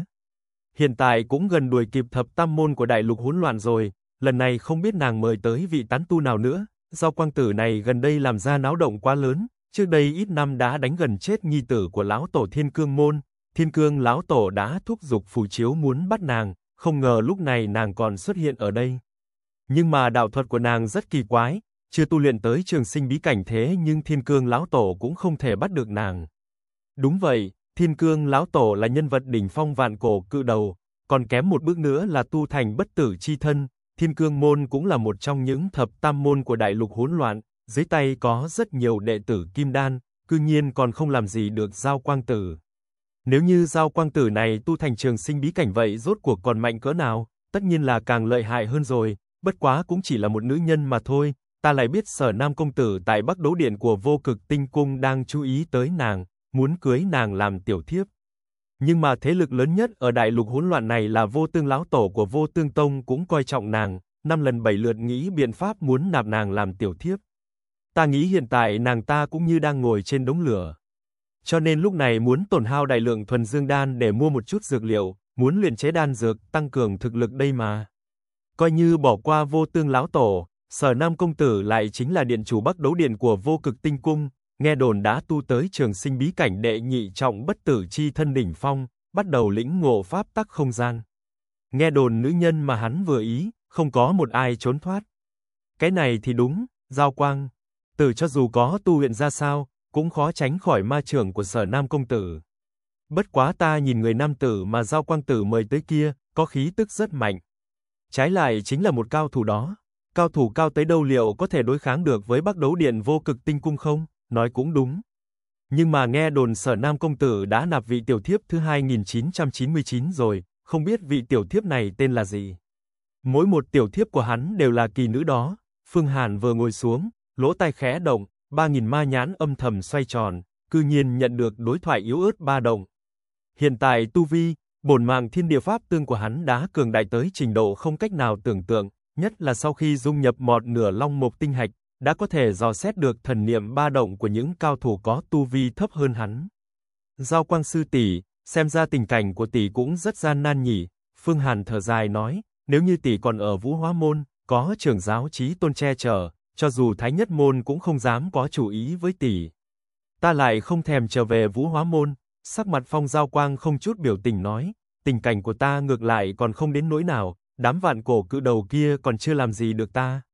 Về phần sở nam công tử, người này trái lại có chút đào hạnh, hắn cũng phát hiện ra một ít bí mật của ta, vì vậy mới có chủ ý với ta.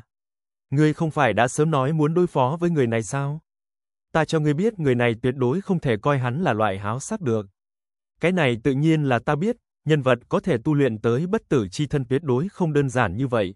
Phương Hàn truyền thần niệm tới, không tối không sáng nói, hơn nữa ta biết không ít bí mật của vô cực tinh cung. Thậm chí ta còn luyện được tuyệt học của vô cực tinh cung là chúng tinh vô cực thư, gì? Ngươi biết chúng tinh vô cực thư, thần niệm của phong giao quang lại lần nữa kịch liệt ba động, môn đạo thuật này không phải tầm thường, chính là thần thông lập giáo của vô cực tinh cung, là đại tinh thần thuật một trong ba nghìn đại đạo, nghe đồn một khi luyện thành môn thần thông này có thể thu nạp quần tinh rồi luyện hóa. Trong lúc xuất thủ sẽ phát ra minh mông thần uy, quần tinh như đại hải. Hơn nữa có thể mượn quần tinh lực phi độn giữa các ngôi sao, vô cùng huyền diệu. Mẫu thân của Giao Quang Sư Tỷ là thánh nữ của vô cực tinh cung. Xem ra tỷ cũng biết môn thần thông này rồi. Phương Hàn thử thăm dò. Ta không biết, ta không tu luyện thần thông của vũ hóa môn, cũng không có tu luyện thần thông của vô cực tinh cung mà tu luyện hồng mông thiên đạo. Không thuộc về 3.000 đại đạo, nhưng mà đây là pháp môn khác của hồng mông đạo nhân ngoài 3.000 đại đạo. Năm đó hồng mông đạo nhân học xong 2.999 loại đại đạo, duy chỉ có đệ nhất đại mệnh vận thuật của 3.000 đại đạo là không học được, nhưng mà hồng mông đạo nhân có chí nguyện to lớn, muốn tự mình sáng tạo ra một môn đạo thuật, vượt ra khỏi danh giới vận mệnh, thế cho nên người tại vĩnh sinh chi môn tiên giới, tính tỏa 9 vạn năm tìm hiểu ra hồng mông thiên đạo. Phong Giao Quang trò chuyện vài câu, khiến tâm thần Phương Hàn lay động. Thái cổ hồng mông đạo nhân, tam hoàng chi sư đều là những nhân vật lợi hại. Loại phong thái này khiến hầu bối nể phục từ sâu trong thâm tâm, không hổ là người trong truyền thuyết có vô thượng đại năng có thể đánh chết tiên nhân. Cư nhiên có thể tự nghĩ ra, hồng mông thiên đạo, ý đồ muốn so với đại mệnh vận thuật. Không nói có thể chống lại vận mệnh hay không, thế nhưng mọi người đều biết, môn đạo thuật tự nghĩ ra này khẳng định không dưới 3.000 đại đạo. Phương Hàn không thể tưởng tượng nổi, ngoài 3.000 đại đạo ra con người làm sao có thể sáng lập ra một môn đạo thuật nữa. 3.000 đại đạo là tổng cương của hết thảy thần thông đạo thuật rồi. Sau khi tu luyện ngũ đế đại ma thần thông, đại ngũ hành thuật, Phương Hàn cảm thấy tất cả ngũ hành đạo thuật trước đây quả thật chỉ giống như trẻ nhỏ, nói cách khác đại ngũ hành thuật bao hàm hết thảy ngũ hành đạo thuật. Muốn hắn sáng lập ra một môn ngũ hành đạo thuật, cùng so sáng với đại ngũ hành thuật, cho dù giết chết hắn hắn cũng không thể nghĩ ra. Ba nghìn đại đạo, vĩnh sinh chi môn ở trước mặt, tìm hiểu 9 vạn năm, muốn tạo ra một pháp môn vượt qua ranh giới vận mệnh. Hiển nhiên là Hồng Mông đạo nhân muốn phá tấm sương mù quanh 3000 đại đạo, xé rách vĩnh sinh chi môn bước vào vĩnh sinh chi đạo chính thức, trong lòng Phương Hàn đột nhiên sinh ra một tia minh ngộ. Đây là lần đầu tiên hắn nghe nói có người muốn mưu cầu pháp môn siêu việt hơn 3000 đại đạo. Chỉ với ý nghĩ này đã siêu việt hơn hết thảy, vì hắn đã mở ra gông cùm xiềng xiếc trói buộc tư duy. Loáng thoáng minh ngộ này, tiểu túc mệnh thuật mà Phương Thanh Tuyết truyền thụ cho hắn cũng thông thoáng hơn, lại lần nữa trở nên rõ ràng. Suy nghĩ của hắn, thần niệm của hắn, trở nên nhạy cảm, sáng sủa tới trạng thái trước nay chưa từng có, thần niệm hơi chút bắn quét qua cũng cảm giác được thế giới này dày đặc từng tầng từng tầng chướng ngại, trong hư không vô tận, vô số nguyên khí quấn quanh lẫn nhau, hết thảy đều tạo thành từ khí, khí là căn bản, nó khống chế hết thảy vận mệnh. Nối tiếp của vận mệnh là vì khí, khí là căn bản, là vì mệnh mà không ngừng sinh sôi, chính là vì vậy sẽ sinh ra quy tắc, rốt cục Phương Hàn cũng dịch được. Gia đoạn âm tiết tiểu túc mệnh thuật mà Phương Thanh Tuyết truyền thụ cho. Một đoạn ý niệm cổ xưa róc rách chảy trong đầu. Phương Hàn cũng cảm giác được trong hư không tối tăm, giữa không trung vô tận truyền tới một cỗ nguyên khí cổ quái. Mình và tất cả thời không, vô tận hư vô đều có cảm giác liên hệ chặt chẽ. Giữa không trung vô tận, bản thân mình có thể điều động được một cỗ lực lượng khó hiểu. Mà để điều động được cỗ lực lượng này, mình phải đổi bằng tuổi thọ.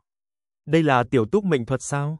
Mình phải dùng tuổi thọ để trao đổi, để đổi lấy lực lượng quy tắc số mệnh giữa vô tận hư không. Tại thời khắc này Phương Hàn rốt cục cũng giác ngộ được tiểu túc mệnh thuật. Hắn cũng đã hơi hiểu một chút về tinh hoa của tiểu túc mệnh thuật, trước một đoạn kinh văn thật khiến người ta có thể lĩnh ngộ được giữa không trung vô tận một cố lực lượng thần bí không thuộc về nguyên khí ngũ hành, không thuộc tinh khí vu lôi đình, cũng không thuộc về các loại nguyên khí mà người ta nhận ra, mà là một loại lực lượng quy tắc kết hợp. Loại lực lượng này được xưng là số mệnh. Trong vô tận thời không có vô số nguyên khí, ngũ hành nguyên khí, cương phong lực, không gian chi lực, thời gian chi lực, các loại ma khí, sát khí, âm khí, dương khí, từ tính khí, lôi đỉnh tinh khí, huyền hoàng khí, thái thanh khí, thượng thanh khí, Phật, thần chi lực, vi vi. Người tu đạo hấp thu những loại tinh khí này, tự cô động thành thành thần, rồi hợp thành các loại pháp môn thiên biến vạn hóa. Nhưng mà Phương Hàn lĩnh ngộ tiểu túc mệnh thuật cảm ngộ, số mệnh lực, là một loại bán quy tắc, có tồn tại một nửa nguyên khí, rõ ràng còn cao minh hơn so với thần chi lực. Nhưng mà điều động loại bán quy tắc, bán nguyên khí này cũng phải trả một cái giá lớn, đó chính là phải thiêu đốt tuổi thọ của mình. Hơn nữa ở bên trong tiểu túc mệnh thuật có pháp môn thiêu đốt tuổi thọ vô cùng thần diệu, trong nháy mắt vô hình vô ảnh biến tuổi thọ của mình thành số mệnh lực, cướp đoạt hết thảy thần thông của địch nhân với quy tắc lực để áp chế đối phương. Tốt, tiểu túc mệnh thuật thật thần diệu, thật sự lợi hại, không biết thanh tuyết sư tỷ học được từ đâu. Bất quá tuy ta đã cảm ngộ được một chút lực lượng số mệnh trong vô tận hư không, còn chưa có thành thục, chỉ sợ không nắm chắc đánh thức linh hồn của thanh tuyết sư tỷ tỉnh lại, việc đó sẽ rất nguy hiểm, vạn nhất không được, thanh tuyết sư tỷ sẽ lâm vào cảnh vạn kiếp bất phục, ta phải củng cố cả hai mặt, vừa luyện chế cửu chuyển hoàn hồn đan. Vừa đề thăng tiểu túc mệnh thuật, phải hết sức cẩn thận mới được. Đột nhiên lúc này đang cùng nói chuyện với Phong Giao Quang, Phương Hàn lại lĩnh ngộ. Được tiểu túc mệnh thuật, phá tan cỗ sương mù che giấu bấy lâu, cho nên tinh thần của hắn đang rất sảng khoái. Môn thần thông tiểu túc mệnh thuật này vừa đột phá, ngưng tụ thành hình ở trong đầu. Hóa thành một cái ký hiệu, ở bên trên chính là một cố ký hiệu, số mệnh lực, sau đó dung nhập vào bên trong bổn mạng thiên địa pháp tương của Phương Hàn. Cái ký hiệu này ở trong đầu Phương Hàn giống như tròn mà không phải tròn, giống như dẹp mà không phải dẹp, nói trắng ra là không ra hình thù gì, khi thì giống như hỏa diễm mãnh liệt bùng lên, khi thì giống như nước chảy róc rách, khi lại giống như gió lốc xoay tròn, khi thì lại trầm ổn giống như đại địa. Một hạt giống phù văn không ngừng biến hóa, một ký hiệu mà ai ai cũng chưa từng thấy qua. Đây là thần thông đại biểu của tiểu túc mệnh thuật. Sau này Phương Hàn chuẩn bị không ngừng hấp thu hấp thu số mệnh lực trong thời không, làm cho hạt giống phù văn này lớn mạnh lên.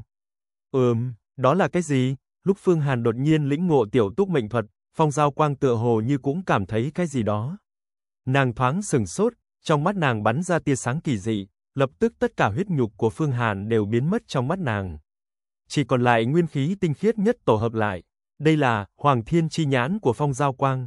Bổn mạng thiên địa pháp tương thật cường đại, sau khi chính thức nhìn rõ nguyên khí tổ hợp của Phương Hàn, Phong Giao Quang bị dọa cho nhảy dựng lên, nàng đã nhìn rõ bổn mạng thiên địa pháp tương của Phương Hàn, có rất nhiều thần thông, khoảng chừng 93 loại. 93 loại thần thông, làm sao có thể luyện ra vậy? Tại sao có nhiều thần thông như vậy? Nhiều thần thông như vậy, hắn muốn tấn thăng đến trường sinh bí cảnh không phải là một chuyện dễ dàng gì. Còn nữa, ba ngàn mắt, ba ngàn tay đều là đại biểu cho vô thượng thánh ma chi đạo cùng Phật đà chi đạo. Hơn nữa tại sao thân thể hắn lại cường đại như vậy? Cư nhiên bắt đầu có dấu hiệu của bất tử chi thân. Trong thân thể hắn quả nhiên có Hoàng Tuyền Đồ. Đúng vậy, quả thật chính là truyền nhân của Hoàng Tuyền Đại Đế. Nhưng mà Hoàng Tuyền Đồ tuy lợi hại nhưng khó có thể ngăn cản bị xuyên thủng bởi Hoàng Thiên Chi Nhãn của ta, để ta nhìn xem rốt cuộc Hoàng Tuyền Đồ cường hoành tới trình độ nào, ánh mắt của phong giao quang lập lòe càng lúc càng nhanh. Lập tức Hoàng Tuyền Đồ hiện lên trong mắt nàng, dần dần trở nên rõ ràng, ánh mắt nàng tựa hồ thấy được bên trong của Hoàng Tuyền Đồ. Thiệt nhiều khí tức của Pháp bảo cường hoành, Pháp bảo thật cường đại, đạo khí, đạo khí, tựa hồ như như là phất tức của thượng phẩm đạo khí. Tại sao có thể có nhiều thượng phẩm đạo khí như vậy? Còn nữa, còn có khí tức của vạn cổ. Cự đầu, ta cảm thấy khí tức của vạn cổ cự đầu. Không chỉ có một người. Đây là chuyện gì vậy? Tuy trong khoảng thời gian ngắn không thể nhìn rõ hết thảy cảnh vật bên trong hoàng tuyền đồ, thế nhưng phong giao quang có thể cảm nhận được khí tức của đại hỗn độn lôi kiếm, long đạo nhân, mục đạo nhân, lô lan bà, kỵ đô pháp vương trong bát bộ phù đồ. Lúc nàng tiến thêm một bước, vận dụng thần nhãn để xem xét, đột nhiên một cái ký hiệu lóe lên trong thiên địa pháp tương của Phương Hàn. Vẫn còn, đó là cái gì? Nàng bị dọa cho nhảy dựng lên, khi thấy cái ký hiệu kia, cảm thấy một vòng lực lượng quỷ bí cư nhiên ngay cả Hoàng Thiên Chi nhãn cũng không thể thấy rõ. Sau đó trong cái ký hiệu kia còn phát ra từng đợt ngâm sướng cổ xưa, lực lượng của số mệnh thẩm thấu đến vô tận thời không, có mặt ở khắp nơi, ánh sáng không chiếu thấu, hắc ám không thể che giấu, sẽ thấy rõ vận mệnh của ngươi, sẽ lọt hết vào vận rủi của số mệnh, ong ong ong, cái ký hiệu kia phát ra khí tức khủng bố, một vòng lại một vòng, cư nhiên phản kích đánh bật Hoàng Thiên của Phong Giao Quang trở lại, một cỗ lực lượng mênh mông bỗng nhiên ép tới. Không tốt, thân thể của Phong Giao Quang chấn động, đây là lực lượng gì, còn mang theo quy tắc nguyên khí, ánh mắt của nàng nhắm lại, thế nhưng từng đạo tơ máu hiện ra trên mí mắt, cư nhiên nàng đã bị thương. Kết quả này đương nhiên là do thần thông tiểu túc mệnh thuật của Phương Hàn luyện thành, lực lượng của số mệnh phản kích lại.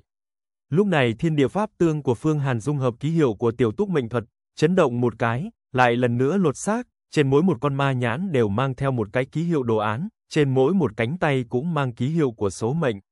Bổn mạng thiên địa pháp tương của hắn bây giờ sẽ có 94 loại thần thông, hơn nữa tiểu túc mệnh thuật này đã trở thành chú tể của rất nhiều thần thông, chấn áp hết thảy thần thông, tất cả thần thông bị tiểu túc mệnh thuật chấn áp, vận chuyển cũng trở nên rõ ràng ngay ngắn hơn.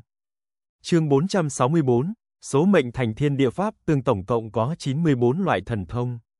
Phương Hàn hơi vận chuyển, cũng cảm giác được tất cả thần thông của mình đều hò hét đáp lại, rất có lực ngưng tụ. Vô luận là thiền quang của Phật môn hay là thần thông của ma đạo, đều do tinh thần của mình làm chủ, chặt chẽ kết lại. Hơn nữa thần thông ma môn ngưng tụ thành, tuyên cổ ma vực, thần thông Phật môn ngưng tụ thành, cực nhạc tịnh thổ, lại có xu thế dần dần dung hợp. Trước kia Phương Hàn cùng tu Phật ma, thiền quang của Phật môn cùng ma vụ của ma môn luôn thiếu cái gì đó cho nên không thể dung hợp. Thế nhưng bây giờ đang ở phối hợp với lực lượng của tiểu túc mệnh thuật, tất cả đều đoàn kết. Không hề có sự tranh đoạt, đều trật tự vận chuyển. Không sai bản chất của tiểu túc mệnh thuật tựa hồ như áp đảo hết thảy thần thông. Hết thảy thần thông đều phải thần phục. Trước kia bổn mạng thiên địa pháp tương của Phương Hàn chẳng khác nào một quốc gia hỗn loạn, mỗi loại thần thông tương đương với một thế lực, ngư long hỗn tạp. Không có lực ngưng tụ, cho dù có cưỡng chế phối hợp cũng sẽ tiêu hao không ít pháp lực. Thần thông càng nhiều càng khó phối hợp, vận chuyển lại càng tiêu hao nhiều tinh thần cùng pháp lực. Thế nhưng hiện tại tiểu túc mệnh thuật đã xuất hiện, lại triệt đề cải biến trạng thái này. Một quốc gia hỗn loạn đột nhiên xuất hiện một người lãnh đạo, Mọi người bất luận là chính tà, bất luận là tốt xấu đều đoàn kết lại vây xung quanh người đứng đầu này. Đơn giản mà nói tiểu túc mệnh thuật có tác dụng chấn áp. Là chấn thần chi bảo. Cho dù có đại ngũ hành thuật, chúng tinh vô cực thư, đại thiết cát thuật, đại thôn phệ thuật, đại bổn nguyên thuật, các pháp môn trong 3.000 đại đạo trí cao đều coi tiểu túc mệnh thuật là trung tâm, không có nửa điểm phản đối. Như vậy chỗ tốt chính là khi Phương Hàn vận dụng bổn mạng thiên địa pháp, tương sẽ tiêu hao ít pháp lực hơn. Trước kia tiêu hao 10 phần pháp lực, hiện tại chỉ cần tiêu hao một phần. Tiêu hao pháp lực trọn vẹn giảm đi 10 lần. Sau khi nguyên khí tiên giới của thế giới chi thụ cuồn cuộn hạ xuống lấp đầy chín đại thức hải, làm dịu 94 loại loại thần thông trong bổn mạng thiên địa pháp tương, vẫn còn dư thừa. Nguyên khí tiên giới dư thừa tiến nhập vào thân thể Phương Hàn, được chuyển vào trong hoàng tuyền đồ, trong bát bộ phù đồ. Thật nhiều nguyên khí tiên giới, trong bát bộ phù đồ, bốn đại cự đầu đang tế luyện sáu khối phong thần bi đồng thời chấn động, nguyên khí tiên giới thật tinh thuần. Hiện tại chẳng lẽ Phương Hàn đạo hữu không muốn chúng ta quán thấu nguyên khí tiên giới xuống sao? Cư nhiên còn quán thấu ngược lại cho. Chúng ta, Long đạo nhân nhất thời không rõ có chuyện gì xảy ra. Tốt, tốt, tất.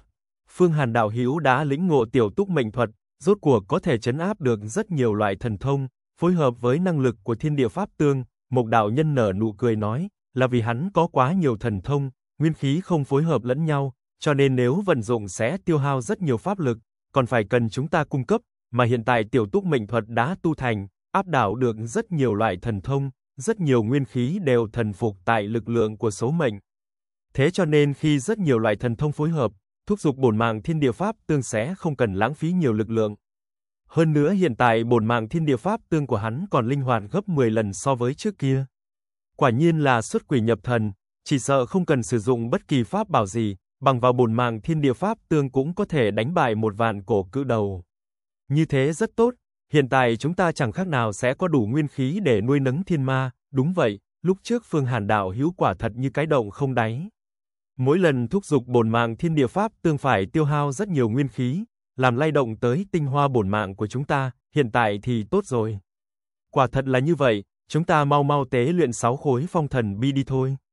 Lĩnh ngộ phong thần đại pháp, tranh thủ sớm ngày tế luyện phong thần bi trở lại như xưa.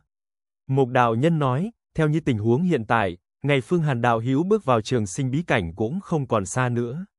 Hơn nữa với tích xúc của hắn, sau khi tu thành trường sinh bí cảnh, rất nhanh có thể tới bất tử chi thân. Cho đến lúc này chúng ta cũng đều có hy vọng tu thành bất tử chi thân, tốt.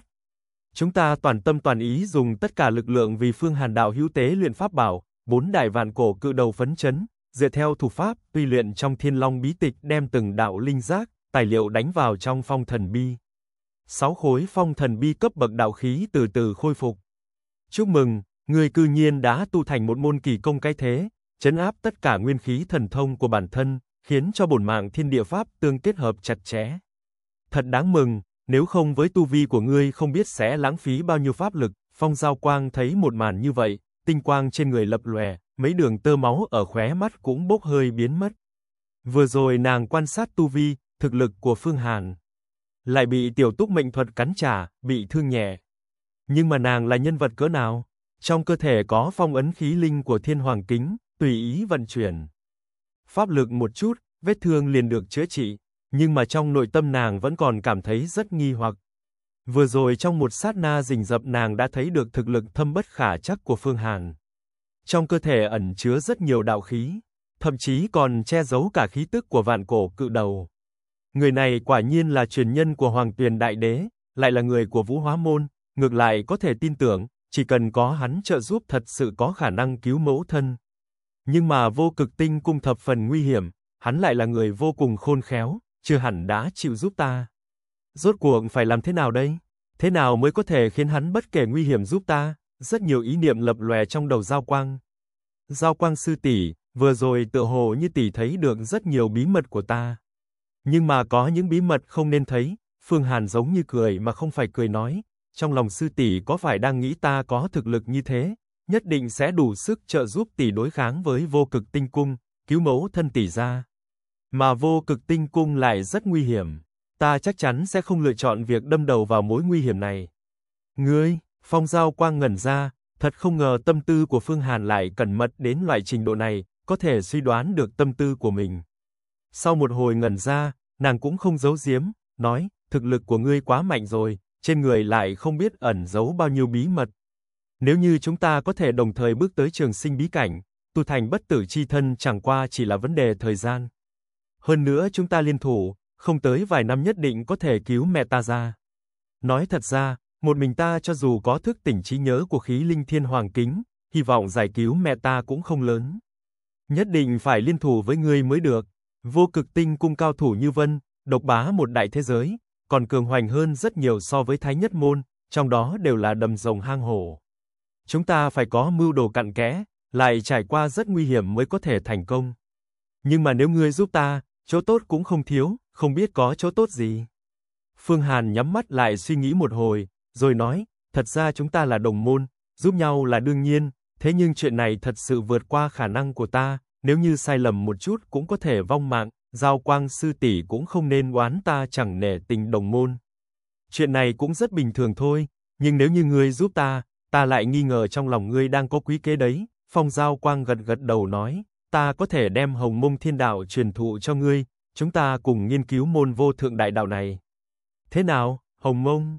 Thiên đạo, Phương Hàn hít một hơi lương khí, môn thần thông này chính là của Hồng Mông đạo nhân đã tại cánh cửa vĩnh sinh tĩnh tọa 9 vạn năm sáng tạo ra, có thể so sáng với vô thượng pháp môn đại mệnh vận thuật. Không nói tới chuyện môn thần thông này có thể so với đại mệnh vận thuật hay không, thế nhưng không thể nghi ngờ, khẳng định nó cũng rất oanh động, chấn áp hết thảy. Hồng Mông Thiên Đạo quả thật là lợi hại. Bất quá bây giờ ta không có thời gian tu luyện, Phương Hàn thở dài một hơi, nói, hơn nữa môn đạo thuật này khẳng định người thường không khó có thể tu luyện. Nếu Giao Quang Sư tỷ không phải là khí linh chuyển thế của Thiên Hoàng Kính, chỉ sợ cũng không thể tìm hiểu được môn thần thông này. Hơn nữa hiện tại ta có rất nhiều thần thông, trên tay còn có đại tai nan thuật của Thái Nhất Môn chưa có tu, còn có đại hỗn độn thuật, Thái Cổ Chư Thiên Lôi Pháp Tổng Cương cũng chưa tu. Thật là không thể kham được nữa, ngươi cư nhiên còn biết chấn giáo chi bảo. Đại tai nan thuật của Thái Nhất Môn, phong giao quang triệt để chấn kinh. Đúng vậy, Phương Hàn gật gật đầu, trên ngón tay lập tức xuất hiện một tia hỏa diễm cùng một đám phong bào màu đen. Đây là đại nhật hỏa tai, hắc nhật phong tai, phong giao quang lập tức nhìn ra. Ta đã nhìn ra được hoàng tuyền đồ của ngươi đã hư hao, phong giao quang lại nói, lợi hại nhất của nó chính là luân hồi chi bàn còn chưa có diễn hóa được, phải cần số lượng thuần dương chi lực khổng lồ. Ta cũng có biện pháp giúp ngươi có rất nhiều thuần dương đan.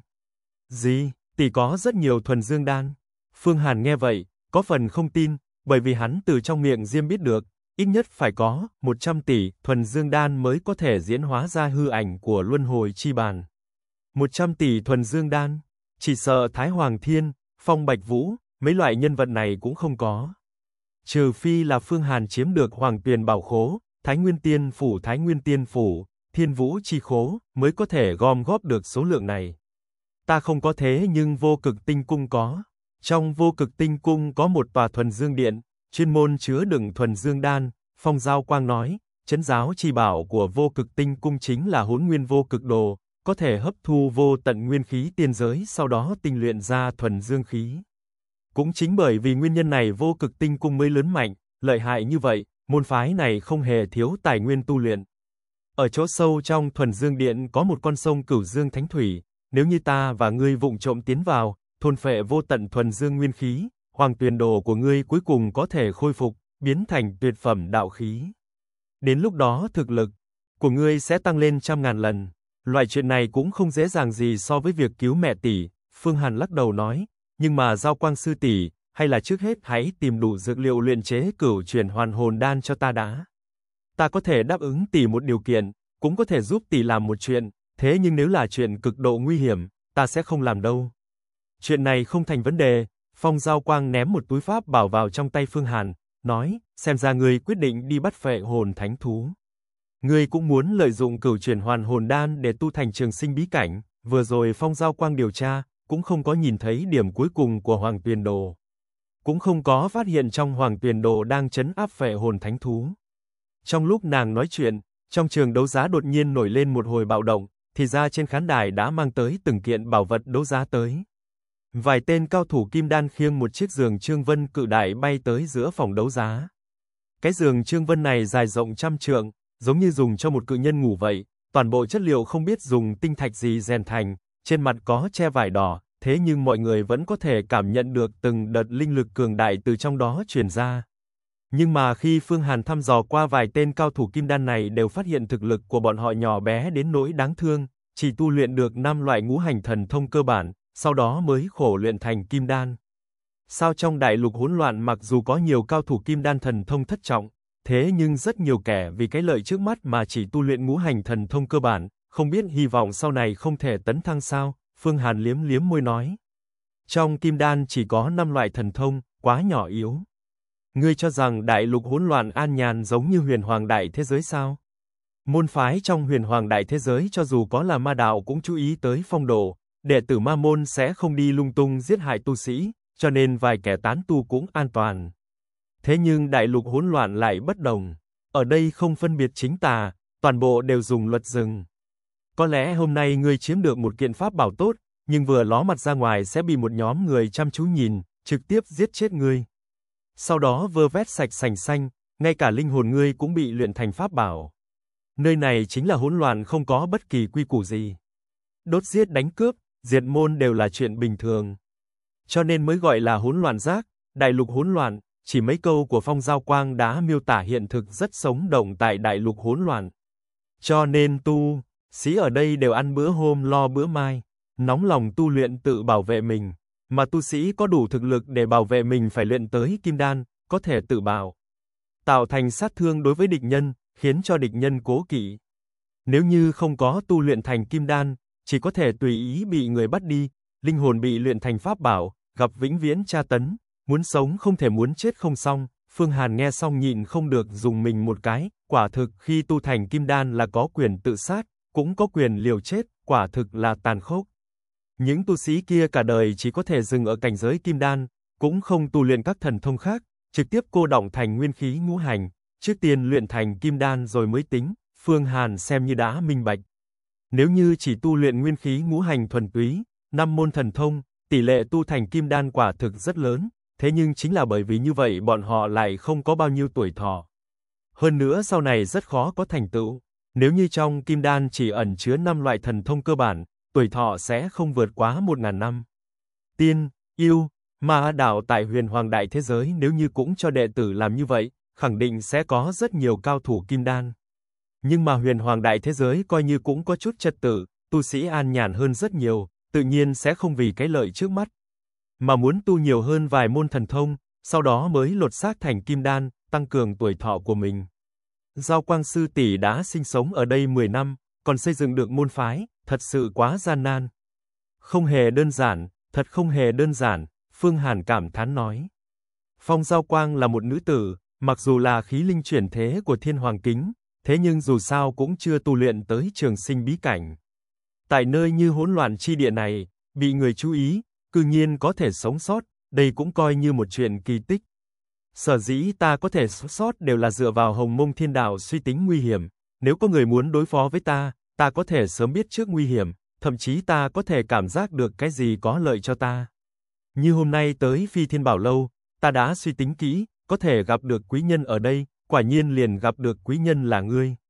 Phong Giao Quang chậm rãi nói, bốn chữ, đón cát tránh hung. Đây chính con đường duy nhất khiến ta có thể tồn tại tới ngày nay. Có thể đón cát tránh hung quả thật có thể sinh tồn tại hỗn loạn chi địa này, Phương Hàn gật gật đầu nói.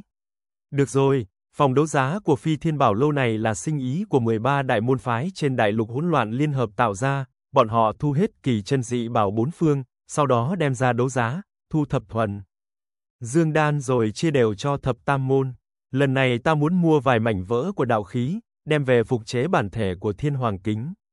Ta xem bát bộ phù đồ của ngươi chính là trí bảo long tộc, thế nhưng muốn luyện chế cần phải có cần đại lượng thiên tài địa bảo, không bằng mua một chút mảnh vỡ đạo khí luyện chế để bù vào thiếu khuyết. Phong Giao Quang phất phất tay nói, Long đạo nhân, Mục đạo nhân, Lô Lan bà, Kỵ Đô Pháp Vương, các ngươi tạm đình chỉ luyện chế phong thần bi, đem những dược liệu này vào bát bộ rong lô, chăm sóc cẩn thận đống dược liệu này, đồng thời các ngươi khổ luyện đại phổ độ thiền quang, chuẩn bị hết thảy đi, chúng ta chuẩn bị triệt để độ hóa phệ hồn thánh thú, luyện chế cửu chuyển hoàn hồn đan. Phương Hàn cầm lấy túi dược liệu của Phong Giao Quang vừa đưa, ném toàn bộ vào trong bát bộ phù đồ. Hiện tại hắn đã lĩnh ngộ tiểu túc mệnh thuật, đã hơi chút vận dụng môn thần thông này theo quy tắc, có thể từ bên trong vô tận thời không hấp thu nguyên khí, số mệnh, hiện tại có thể nói tiểu túc mệnh thuật phối hợp với đại phổ độ thiền quang, hắn có thể độ hóa cường giả trường sinh bí cảnh đệ nhất trọng vạn thọ cảnh. Hiện tại hắn đã thu thập được bốn đại cự đầu, chuẩn bị sẵn sàng tích lũy đại phổ độ thiền quang tìm một cơ hội độ hóa phệ hồn thánh thú, sau khi tìm được rất nhiều bí mật trên người nó, rồi có thể lặng lặng độ hóa đầu ma thú này.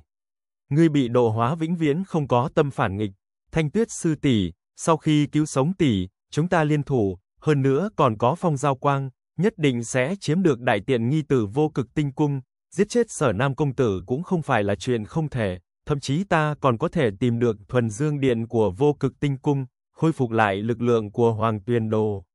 Hoàng Tuyền Đồ diễn hóa ra luân hồi chi bàn, ta liền đi tìm thiên vũ chi khố, đi đầu tìm lấy chân tàng.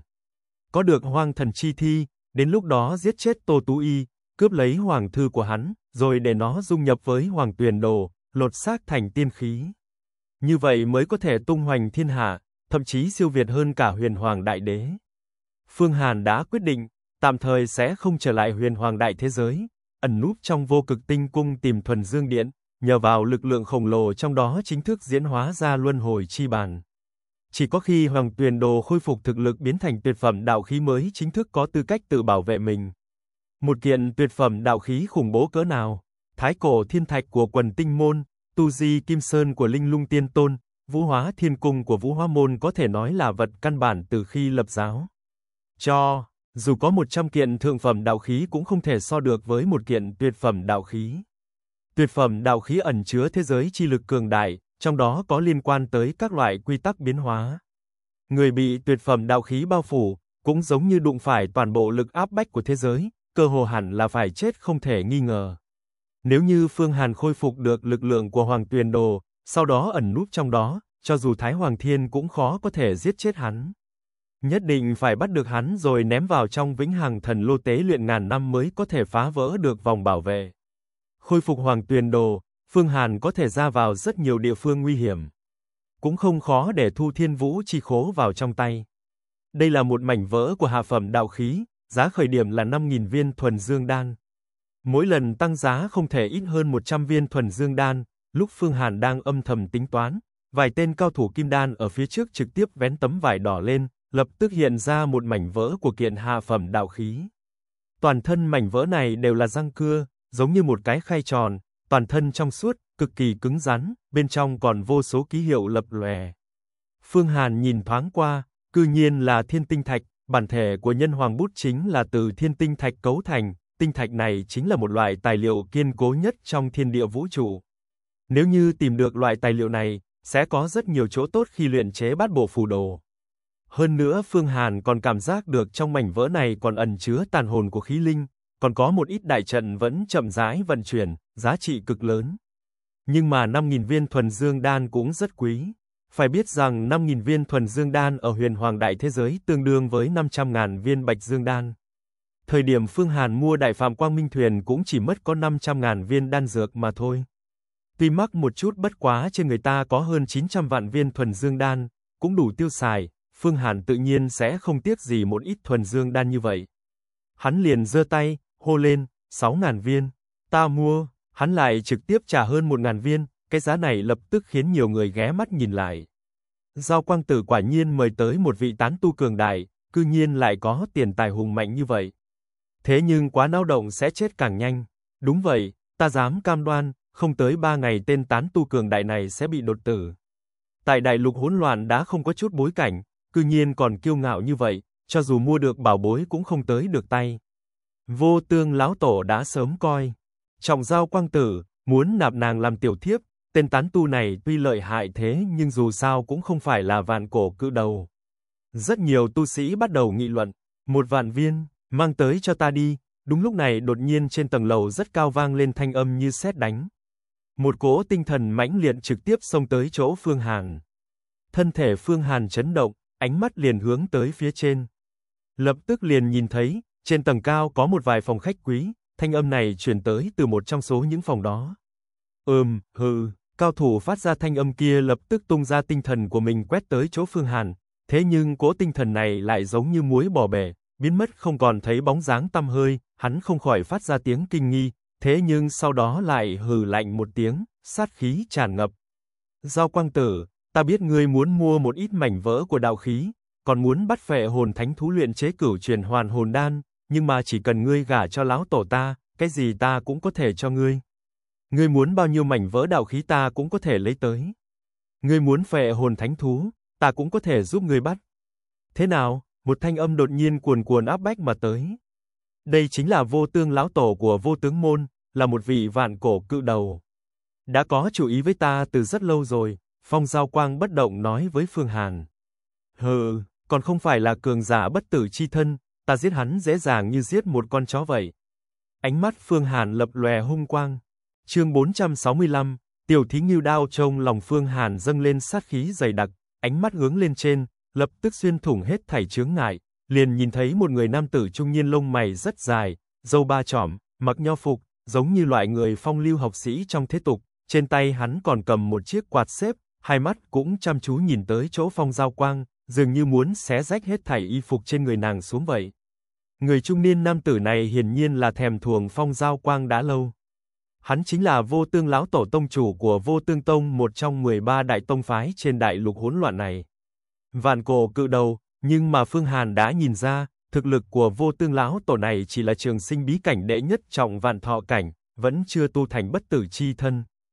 Phương Hàn cực kỳ rõ ràng với áp bách của trường sinh bí cảnh đệ nhị trọng bất tử chi thân. Thời điểm ba lập minh xuất hiện một trường đánh bại Lô Lan bà thiêu đốt nhục thể của mụ. Có thể nói khí thế hung hãn như biển, uy lực như nước thủy triều. Đã không phải là bất tử chi thân mà chỉ là vạn cổ cự đầu bình thường, Phương Hàn có thể dễ dàng giết chết hắn giống như giết chết một con chó. Phương Hàn sư đệ, không thể động thủ ở đây, Phi Thiên Bảo Lâu là một kiện hạ phẩm đạo khí, cũng là sơn môn của Phi Thiên Môn, nếu như động thủ trong này nhất định sẽ bị Phi Thiên Môn vây công. Phong Giao Quang cảm nhận được sát khí dày đặc trong lòng Phương Hàn, vội vàng truyền âm tới. Môn chủ của Phi Thiên Môn đã tu thành bất tử chi thân chưa? Phương Hàn hỏi, chưa, hắn cũng chỉ là cường giả trường sinh bí cảnh đệ nhất trọng vạn thọ cảnh. Chẳng qua nếu như chúng ta không tuân theo quy củ ở nơi này, vọng động mà nói, hắn sẽ liên thủ với vô tương lão tổ, thậm chí còn gọi 13 đại môn phái tới chấn áp. Phải biết rằng sinh ý của phi thiên bảo lâu này thật ra là sản nghiệp của 13 đại môn phái liên thủ, nếu như chúng ta phá hoại, quả thật cũng không thể lưu lại đại lục hỗn loạn này nữa. Sư đệ đừng cho rằng bằng vào thực lực bản thân là có thể chống lại 13 đại môn phái của đại lục hỗn loạn. Mục đích của ta là dần dần sơi tái đại lục hỗn loạn này. Tạm thời không nên vọng động, chờ khi chúng ta rời khỏi phi thiên bảo lâu, phi thiên thành, sẽ đối phó với vô tương lão tổ này, đám người còn lại cũng không quản, vì đó là chuyện tình của chúng ta. Phong Giao Quang khuyên can, sư tỷ cũng quá cẩn thận rồi, một quyền của ta cũng có thể đánh sập phi thiên bảo lâu này, nó chỉ là một kiện hạ phẩm đạo khí mà thôi. Nhưng mà tỷ còn có cơ nghiệp ở trên đại lục hỗn loạn này, ta cũng sẽ không gây phiền phức cho tỷ, sau này ra ngoài. Sẽ thu thập vô tương lão tổ này sau. Bất quá ta cũng muốn làm giảm uy phong của hắn, nếu tại huyền hoàng đại thế giới, chỉ là tán tu không có bối cảnh như vậy, ta đã trực tiếp giết chết rồi. Sắc mặt Phương Hàn co rúm lại, khóe miệng liên tục cười gằn, đột nhiên cao giọng nói, ta trả hai vạn viên thuần dương đan, hai vạn thuần dương đan. Trực tiếp trả thêm một vạn viên. Gia hỏa này dám khiêu chiến với vô tương lão tổ. Rốt cuộc hắn là nhân vật cỡ nào? Hay là một kẻ ăn chơi chắc táng của đại môn phái nào đó? Không biết trên đại lục hỗn loạn, tiền tài không nên khoe khoang ra ngoài sao? Trực tiếp trả thêm một vạn viên, cái này cũng quá xa xỉ đi. Đây mặc dù là một mảnh vỡ của đạo khí, thế nhưng cũng không đáng giá hai vạn viên thuần dương đan. Gia hỏa này nhất định là một kẻ ăn chơi chắc táng của đại môn phái nào đó, chắc là muốn nịnh nọt giao quang tử đây. Vô tương lão tổ nhất định sẽ dành cho hắn một cái giáo huấn cả đời khó quên. Vô tương lão tổ tâm ngoan thủ lạt, làm sao có thể để nữ nhân mà mình vừa ý ở cùng với một nam nhân khác, Phương Hàn thoáng cái phát uy trực tiếp tăng thêm một vạn viên thuần dương đan chẳng khác nào bỏ ra 100 triệu viên bạch dương đan, quả thật khiến rất nhiều người khiếp sợ. Mọi người thật hiếm khi thấy loại đại tài chủ này. Hai vạn viên, tốt, rất tốt, vô tương lão tổ ngồi trong phòng khách quý lãnh khốc nói, bất cứ ai cũng cảm nhận được sát khí sắc bén trong đó, một ít cao thủ mẫn cảm thậm chí có thể cảm nhận được nguyên khí trong cả trường đấu giá đều sôi sục. Ta ra giá ba vạn viên, Vô tương lão tổ cũng không động thủ mà chỉ phun ra một câu. Đúng là đồ nghèo kiết xác. Phương Hàn ha ha cười, nói, ta ra giá 5 vạn viên, 5 vạn viên. Toàn trường lập tức oanh động, nhất là một câu nói đầy khinh miệt của Phương Hàn kia, nói vô tương lão tổ nghèo kiết xác càng khiến cho người ta kinh sợ. Khiêu khích một vị vạn cổ cự đầu, điều này cần có bao nhiêu dũng khí, lập tức cơ hồ tất cả mọi người ở đây đều đoán, Phương Hàn chính là một tên đệ tử quần áo lụa là của đại môn phái nào đó. Thậm chí một cố pháp lực ba động ở chỗ sâu nhất trong phi thiên bảo lâu cũng kéo tới, muốn dò xét tới tột cùng là có chuyện gì. Ở chỗ sâu nhất trong kiện hạ phẩm đạo khí phi thiên bảo lâu này, một lão già râu mép sồm xoàm màu tuyết trắng, ánh mắt sắc bén, thầm nói, giao quang tử tại sao lại mang theo một tiểu tử không biết trời cao đất rộng gì tới đây vậy? Bất quá ta nhận được chỗ tốt từ sở nam công tử, muốn thay hắn nắm bắt động tĩnh của Giao Quang Tử, chuyện này tốt nhất là nên báo cho hắn biết. Trong lúc nói chuyện lão đầu này lấy ra một mặt ngọc phù, phía trên có khắc rất nhiều. Phù chú, sau đó bụp một tiếng tấm ngọc phù này bị bóp nát, tin tức trong đó lập tức truyền tới thời không xa xôi, cũng không biết bắn tới địa phương nào. Lão đầu này chính là môn chủ của Phi Thiên Môn, Phi Thiên Lão Tổ. Cùng lúc đó tại một cửa hàng lớn của Phi Thiên Bảo Lâu cũng có mấy nhân vật thần bí đang âm thầm truyền tin. Sáu vạn viên, thanh âm của vô tương lão tổ càng lúc càng tràn ngập sát khí. Thật ra hắn cũng không cần thứ mảnh vỡ của đạo khí này, hắn là vạn cổ cự đầu tự nhiên có thể luyện chế ra hạ phẩm đạo khí. Thế nhưng làm sao có thể mất mặt trước mặt giao quang được, 10 vạn viên. Phương Hàn bất động thanh sắc một lần nữa phun ra một cái giá. Dù sao hắn cũng đã cướp đoạt được toàn bộ gia sản suốt đời tích xúc của 34 đại đệ tử kim đan của vô cực tinh cung, còn có vương phục long nữa. Tài phú kinh người, cho dù tiêu xài lãng phí cũng không tiếc. Vô tương lão tổ lại tự bất đồng, 10 vạn viên thuần dương đan đối với tu vi của hắn cũng phải tích xúc mấy chục năm, thậm chí trên trăm năm. Vì trước mặt một nữ tử tranh đoạt mặt mũi cũng không đáng. Rất tốt, rất tốt, tiểu tử ngươi nhớ kỹ cho ta, vô tương lão tổ phát ra cảnh cáo nghiêm trọng, tất cả mọi người đều cảm nhận được hắn đang rất tức giận, chỉ sợ là Phương Hàn vừa đi ra ngoài, hắn liền muốn giết người. Phương Hàn lại rất bình tĩnh, ngón tay khẽ búng, 10 vạn viên thuần dương đan bay ra ngoài, rơi xuống bậc thang, sau đó có một tên cao thủ kim đan cung kính đem mảnh đạo khí tới. Hắn cầm trong tay, suy nghĩ một chút, cuối cùng chụp lấy thu vào trong tay áo, sau đó để mảnh vỡ này dung nhập vào trong thân thể, bổn mạng thiên địa pháp tương hơi chút khẽ động, một cỗ lực lượng liền hòa tan mảnh vỡ này, thiên tinh thạch hóa thành bột phấn chui vào trong minh vương phủ của bát bộ phù đồ. Hơn nữa cự đại linh khí trên mặt, cùng với một chút đại trận còn sót lại trải qua luyện hóa bị minh vương phủ hấp thu. Sau khi hấp thu mảnh vỡ của đạo khí này, minh vương phủ tỏa ra ánh sáng chói, đám quang hoa này không hề giống như tuyệt phẩm, bắn thẳng vào trong hư không rồi tứ tán, mà giống như có linh tính ngưng tụ lại, loáng thoáng ngưng tụ thành một cái ô quang diễm, phía dưới cái ô này có một hư ảnh kim thân sừng sững đứng đó, khí thế cực kỳ hung diễm. Đây là khí linh của Minh Vương phủ, bất động Minh Vương. Nhưng mà hiện tại khí linh này chỉ là một đạo hư ảnh, còn chưa có hoạt hóa. Minh Vương phủ vẫn là tuyệt phẩm bảo khí, chưa lột xác thành đạo khí, nhưng mà chỉ cần dung nhập mảnh vỡ đạo khí, nhờ vào tàn hồn khí linh lưu lại cũng rất có thể biến Minh Vương phủ thành đạo khí. Trong truyền thuyết Minh Vương phủ này luyện chế tới cảnh giới cao nhất, sẽ biến thành tuyệt phẩm đạo khí, có thể diễn hóa ra bất động Minh Vương, hủy diệt Minh Vương, uy đức Minh Vương, vô tận Minh Vương. Một búa chém xuống có thể bổ ra hỗn độn, hủy diệt tinh cầu. Không tệ, không tệ, sau này thu thập thêm mảnh vỡ của đạo khí dung nhập vào trong trong bát bộ phù đồ dựa theo bí kíp thiên long mà rèn luyện, có thể khiến tốc độ lột xác của bát bộ phù đồ thêm nhanh hơn. Trong lòng Phương Hàn âm thầm tán thưởng, trong bí kíp thiên long có ghi lại nếu như tám pháp bảo trong bát bộ phù đồ, kể cả bản thể thân tháp toàn bộ hóa thành đạo khí, như vậy chín đại khí linh liên kết lẫn nhau, sẽ sinh ra lực lượng không thể tưởng tượng nổi. Phương Hàn trái lại rất chờ mong giờ khắc thăng hoa của bát bộ phù đồ. Nhưng mà hiện tại chỉ có bản thể thân tháp, bát bộ rong lô, hai kiện bảo bối là biến thành đạo khí. Long Vương Xích, Thiên Mệnh Cầu, Sa Bà Niệm Châu, Minh Vương Phủ, Liệt Thiên Kích, Mộ Cổ, Thần Trung còn kém rất xa. Về phần luân chuyển Thánh Vương không thuộc về bát bộ phù đồ, chẳng qua chỉ là nguyên khí phối hợp với phù đồ. Tương đương với một vị chỉ huy sứ mà thôi. Kiện bảo bối tiếp theo là một viên thượng phẩm đan dược thiên cấp Long Kình Đan. Chính là hồn phách của một con Long Kình, dung hợp vào trong 99 loại linh dược chân quý, còn có bổn nguyên của năm vị cao thủ kim đan luyện chế mà thành, sau khi phục dụng có thể gia tăng 5 vạn mã lực. Lúc Phương Hàn tùy ý dung hợp mảnh vỡ đạo khí, kiện bảo bối thứ hai đã được giao bán. Nhưng mà Phương Hàn cũng không có hứng thú với loại đan dược này, cho nên hắn không tham gia bán đấu giá. Cuối cùng có một vị tán tu thần thông thất trọng kim đan mua được. Sau khi mua được, tên tu sĩ này lập tức vội đi ra ngoài, tờ hồ muốn luyện hóa pháp lực. Phương Hàn mở hai mắt nhìn thoáng qua một cái liền xuyên thấu qua phi thiên bảo lâu trông thấy tên tán tu kim đan này. Vừa ra khỏi phi thiên tòa thành đã bị một cỗ đại lực bao phủ, toàn thân bị chấn thành bột mịn, sau đó một cái đại thủ đen kịt bay tới. Cuối cùng tên tán tu này hô một tiếng tự bạo kim đan, khiến đại thủ nổ tung thế nhưng lại có một đại thủ khác che phủ thu nhiếp hết nguyên khí còn sót lại cùng với chút ít pháp bảo. Nháy mắt đại thủ này liền biến mất, đại lục hỗn loạn quả nhiên hỗn loạn, tên cao thủ kim đan này thật đáng thương, Phương Hàn lắc đầu. Hắn cảm giác được, tên cao thủ kim đan bị chết kia bị vài người thần thông cửu trọng, thập trọng, luyện thành thiên địa pháp tương liên thủ giết chết. Tiếp đó lại đấu giá vài món tuyệt phẩm bảo khí, Phương Hàn cũng không có xuất thủ mua lấy, mà dùng ma nhãn quan sát động tĩnh của vô tương lão tổ, nhưng mà bên trong phòng khách quý tựa hồ đã không còn. Người, vô tương lão tổ đã ly khai.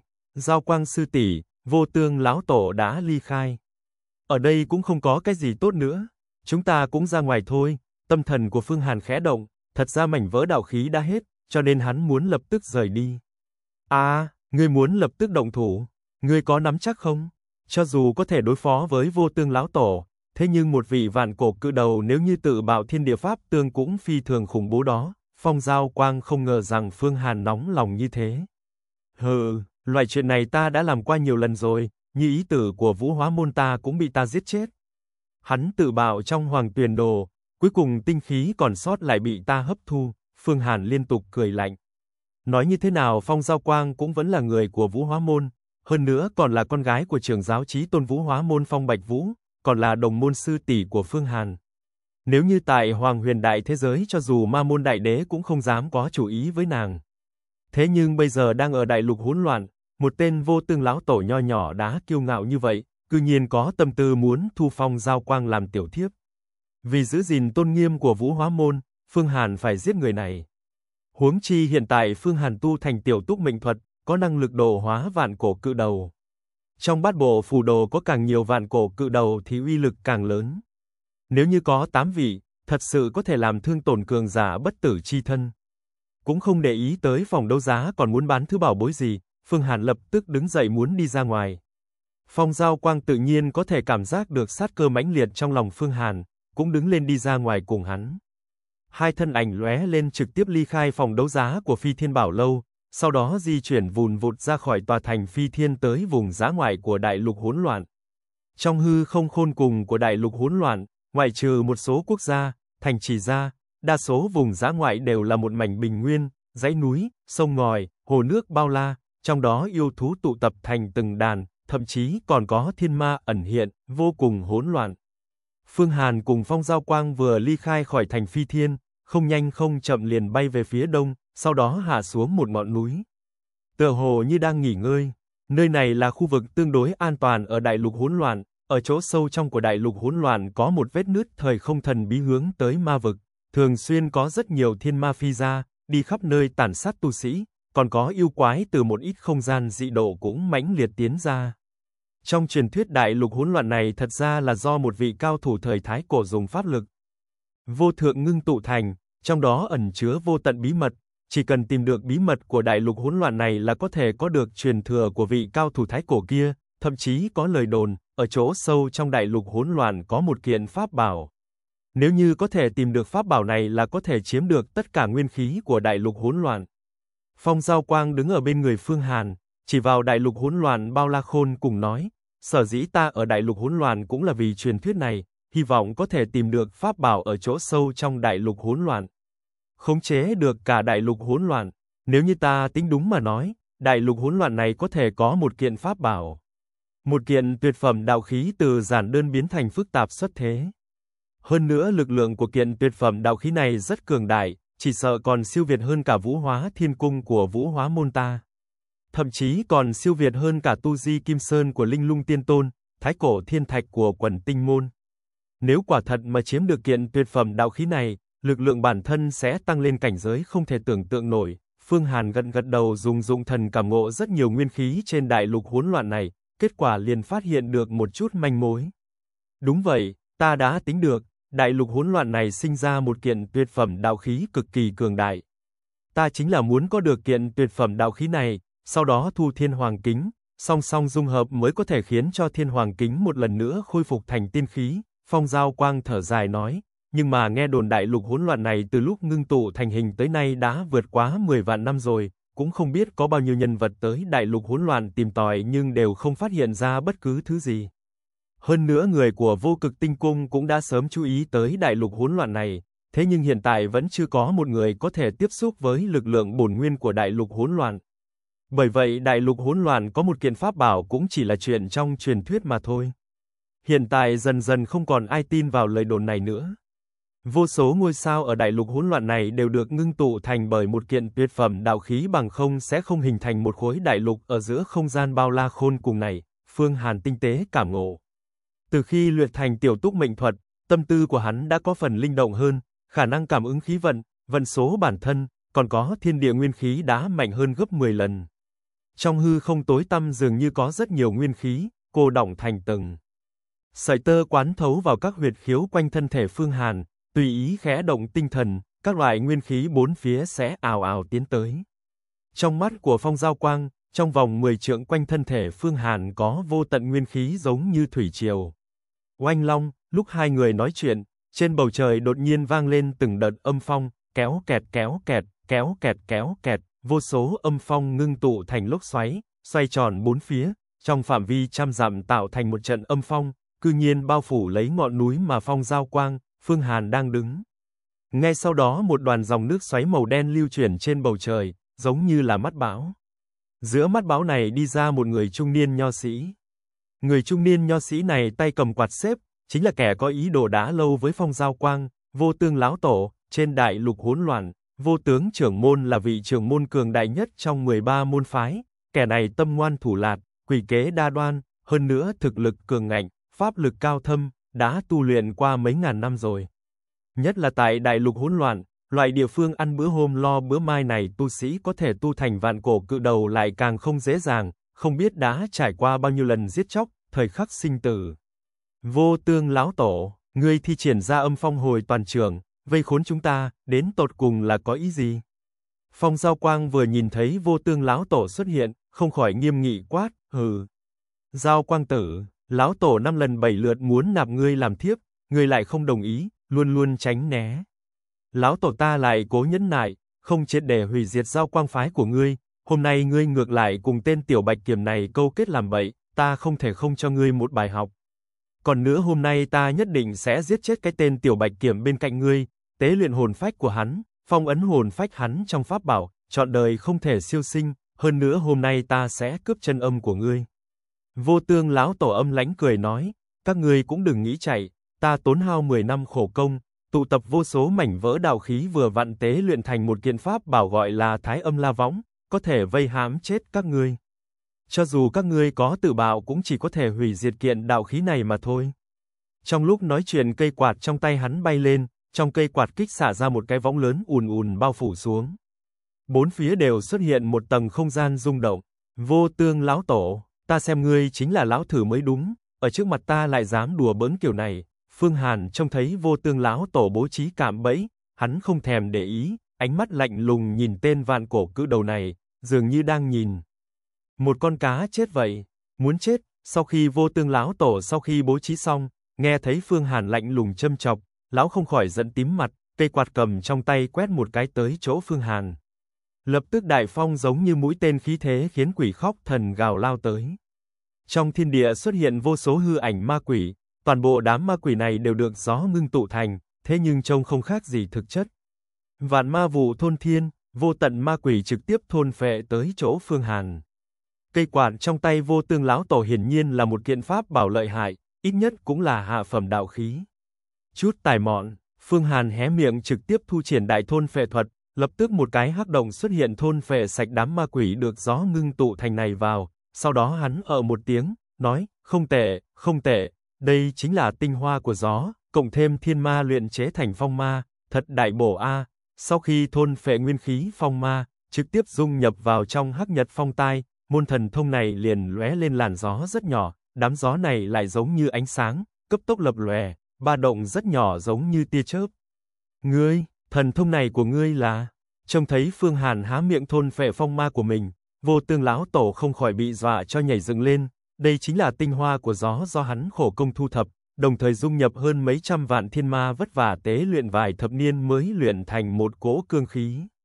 Bình thường chứa ở bên trong cây quạt, gặp địch nhân, chỉ cần thân thể vừa chuyển, lập tức đại phong nổi lên, khí thế quỷ khóc thần gào, phong lực sẽ chấn nát bấy pháp bảo hộ thân của địch nhân, mà ma quỷ trong đó sẽ đoạt đi hồn phách của địch nhân. Song trọng áp lực đồng thời phát uy khiến địch nhân không biết xoay sở ra sao. Ngươi cư nhiên dám thôn phệ phong ma của lão tổ ta, ta phải giết ngươi. Thân thể vô tương lão tổ hạ xuống, đột nhiên biến mất không thấy gì nữa, sau đó bốn phía nổi lên lúc xoáy đè ép xuống, núi đá cỏ cây đều biến thành bụi. Thanh thế mãnh liệt đến cực điểm, vô tương lão tổ quả nhiên không hổ là vô tướng, thủ đoạn ẩn tàng thân hình có thể nói là làm cho người ta không thể đoán định, cũng không tài nào phát giác ra được công kích đích thực của hắn nằm ở đâu. Thế nhưng Phương Hàn trợn tròn hai mắt, xé tan từng tầng chướng ngại, trong nháy mắt liền phát hiện ra chân thân của vô tương lão tổ. Trung quanh thân thể của vô tương lão tổ lại có một tầng ánh sáng vặn vẹo rung động, khiến cho thần niệm cùng thị giác của người ta bị nhiễu loạn, không cách nào cảm giác được hình thể chân thật của hắn. Mà sau khi hắn che giấu rất tốt, điều chính trạng thái bổn mạng thiên địa. Pháp tương, trên đỉnh đầu hắn xuất hiện một cỗ khí tức hủy diệt khủng bố. Phương Hàn nhìn thủ đoạn điều chỉnh nguyên khí của hắn lại có chút quen thuộc, đây là thần thông gì? Dường như ta đã gặp qua thì phải, trong lòng Phương Hàn khẽ động, trí nhớ khổng lồ lóe lên, sau đó tập trung nhớ lại một sự kiện. Đây là thức mở đầu của đại băng diệt thuật, trong nháy mắt Phương Hàn đã nhớ ra, vô tương lão tổ thi triển ra vô thượng thần thông cực kỳ cao minh của ma đạo, là một loại trong 3.000 đại đạo, đại băng diệt thuật. Tuyệt kỹ sở trường của ma xuất, loại thần thông này cực kỳ bá đạo, cường hoành, điều động nguyên khí cùng thiên địa tiến hành cộng chấn, bộc phát ra năng lượng của băng diệt thiên địa. Tu luyện tới cực hạn, không cần bất cứ pháp bảo gì chỉ cần một ngón tay cũng có thể làm cho địch nhân cùng với pháp bảo băng diệt. Phương Hàn cẩn thận, vô tương lão tổ đang điều chỉnh nguyên khí, thi triển ra đại băng diệt thuật đó. Mỗi một loại trong 3.000 đại đạo đều cực kỳ khủng bố, nhất là ở trong tay vạn cổ cự đầu. Vô tương lão tổ hắn chỉ sợ đã biết được nhược điểm của ngươi, cho nên hắn điều động đại băng diệt thuật tới mức tận cùng, sau đó chỉ cần một ngón tay là có thể giết ngươi, phong giao quang đột nhiên nhắc nhở, hiển nhiên nàng cũng nhìn ra vị trí của vô tương lão tổ. Đúng lúc này Phương Hàn xuất thủ, hắn cũng không thi triển ra bổn mạng thiên địa pháp tương của mình, mà chỉ ngâm hét lên, số mệnh có mặt ở khắp mọi nơi. Ngươi xuyên qua thiên địa vũ trụ, lực lượng của ngươi không người nào có thể chống lại, sự vĩ đại của ngươi không người nào có thể sánh vai, ta với danh nghĩa là số mệnh sẽ cướp đoạt hết thảy thần thông, phản kháng của ngươi. Trong lúc ngâm sướng, Phương Hàn đột nhiên cũng cảm giác được, tuổi thọ của mình đang cấp tốc giảm đi, so với bình thường còn giảm nhanh hơn 10 vạn lần. Trăm vạn lần, thậm chí 100 triệu lần. Trong nháy mắt hắn đã mất đi trọn vẹn 10 năm tuổi thọ. Thế nhưng chỗ tuổi thọ này sẽ chuyển hóa thành một cỗ lực lượng, thẩm thấu tiến tới vô tận thời không, điều động một chút quy tắc số mệnh nguyên khí khó hiểu.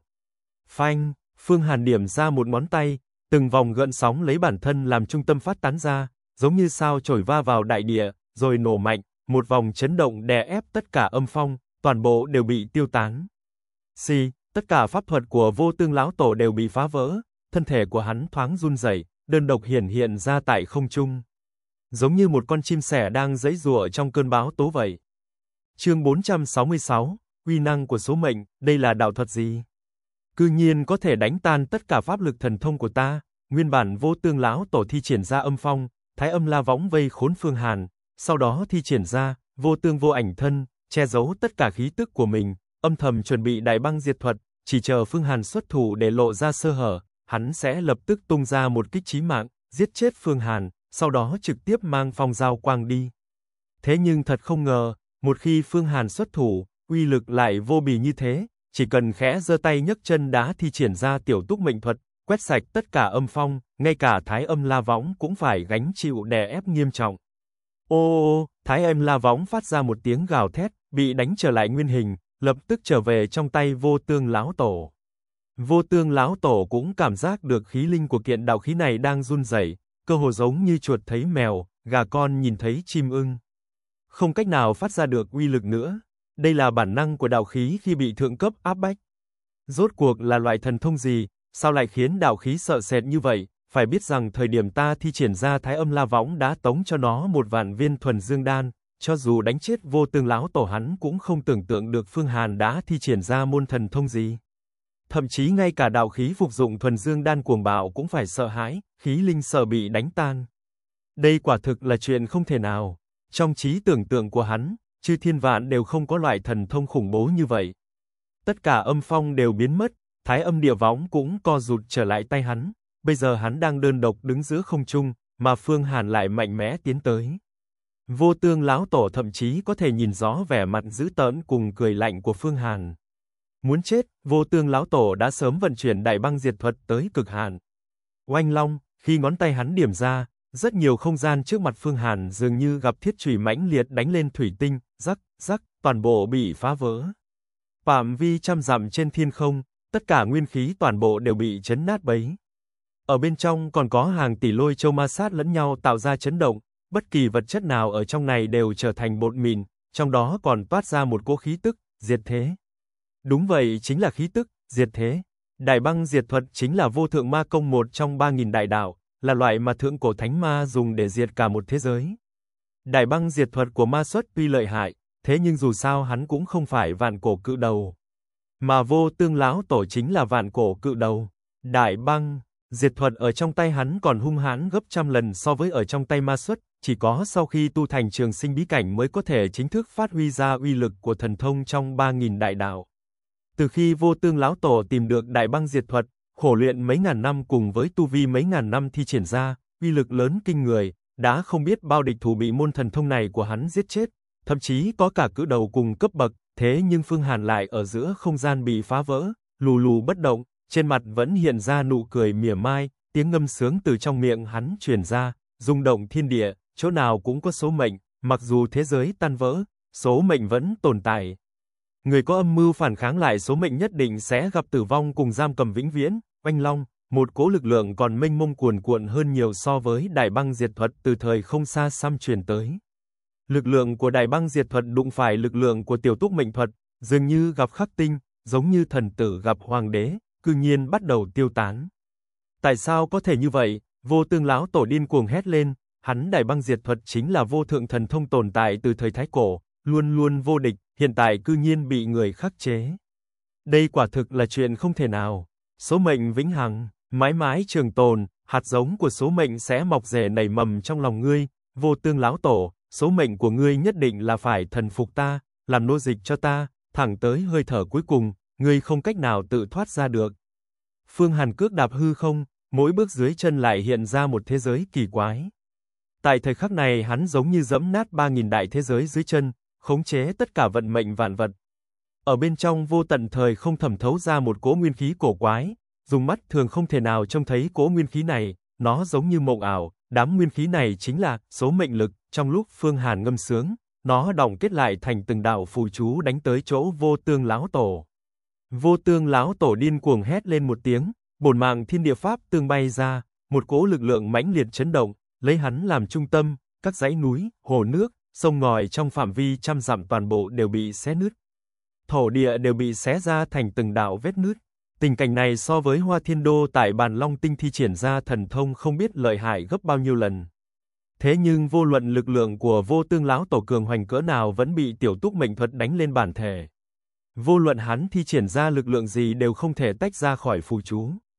Cũng đánh không tan được phù chú. Đám phù chú này tựa hồ như ác mộng, bóng đè, không tồn tại trong thế giới. Xì, xì, xì, thanh nghênh luân phiên vang vọng ra, lực lượng của tiểu túc mệnh thuật trực tiếp chui vào trong bổn mạng thiên địa pháp tương của vô tương lão tổ. Thần trí của vô tương lão tổ lập tức trở nên lờ mờ.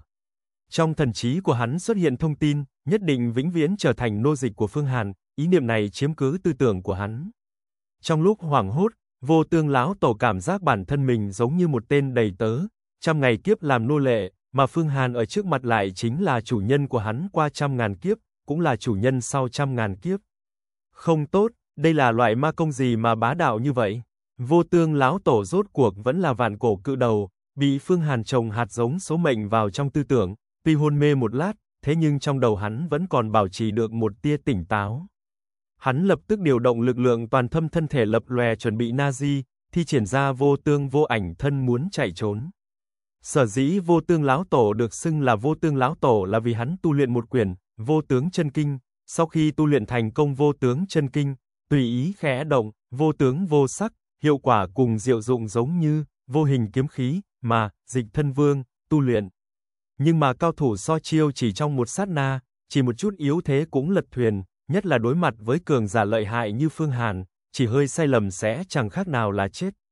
Ngươi còn muốn chạy? Lúc này Phương Hàn chui ra khỏi bồn mạng thiên địa pháp tương của mình, phi lên trên thiên không.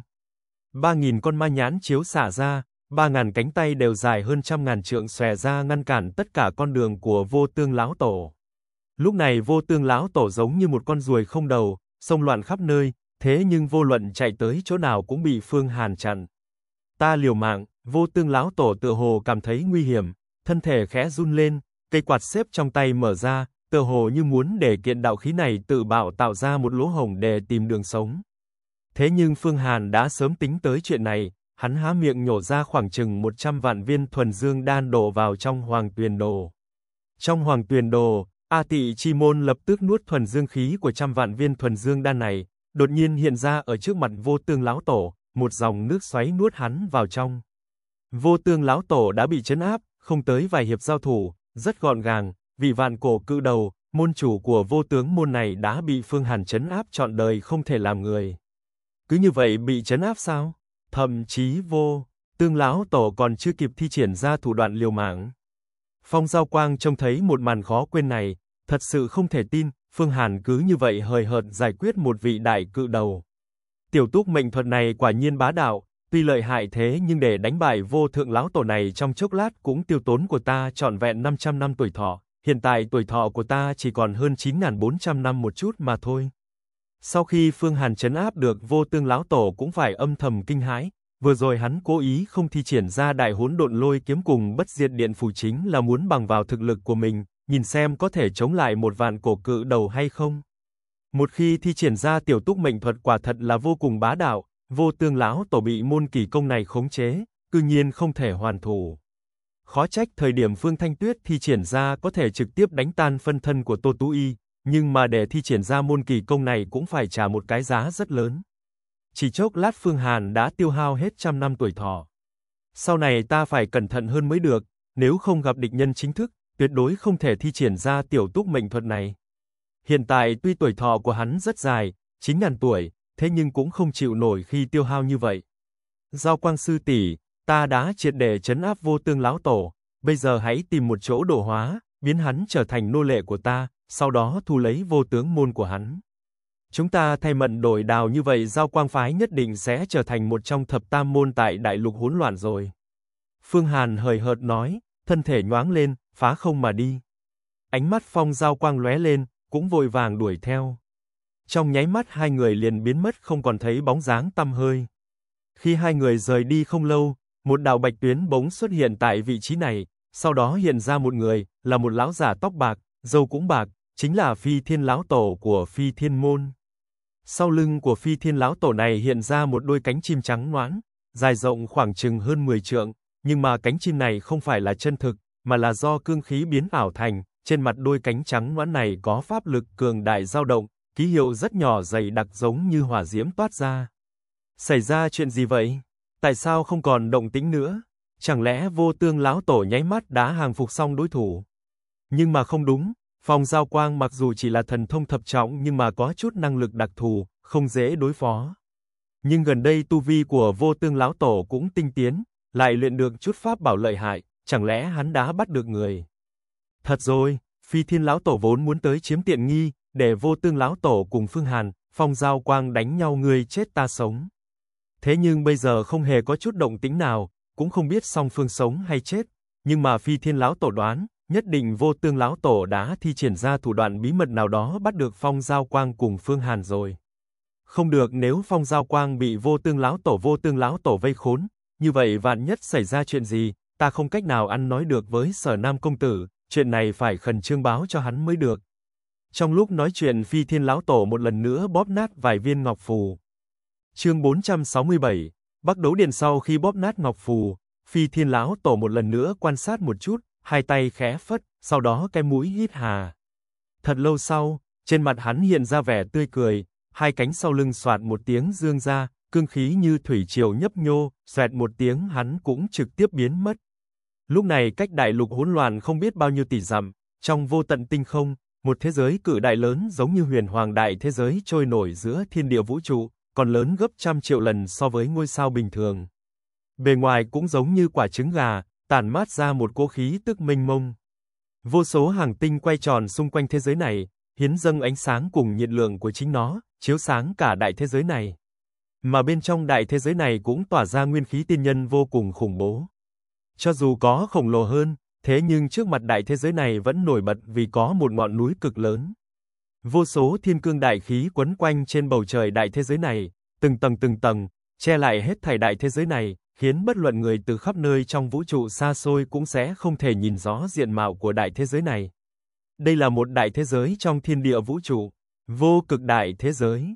Trong thiên địa vũ trụ, có rất nhiều các ngôi sao mênh mông, các loại không gian dị độ, thế nhưng đại thế giới như vậy chỉ có 3.000 cái, được xưng là 3.000 đại thế giới. Mỗi một đại thế giới đều đại biểu cho bổn nguyên lực của ả thế giới, có vô tận huyền bí. Cho dù tu sĩ có dùng tuổi thọ suốt đời cũng vô pháp thăm dò hết thảy cả một đại thế giới. Mỗi một cái đại thế giới đều tồn tại vĩnh viễn, không biết có bao nhiêu tỷ năm lịch sử. Trên bề mặt mỗi một cái đại thế giới mỗi thời mỗi khắc cũng không biết diễn hóa ra bao nhiêu truyền kỳ tăng thương, bao nhiêu cố sự ly kỳ, bao nhiêu nhân vật kinh tài tuyệt diễm phát triển, bao nhiêu bá chủ tranh đấu giết chóc, cướp đoạt. Vô cực đại thế giới do vô cực tinh cung khống chế, đồng thời bất đồng với huyền hoàng đại thế giới.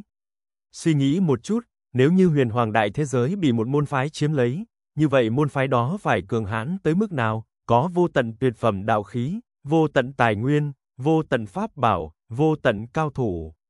Nếu như huyền hoàng đại thế giới bị thái nhất môn thống trị, thiên hoàng kính, nhân hoàng bút, hoàng thư, hoàng tuyền bảo khố, thái nguyên tiên phủ, thiên vũ chi khố, các loại chân tàng che giấu, bảo khố toàn bộ sẽ thuộc về thái nhất môn.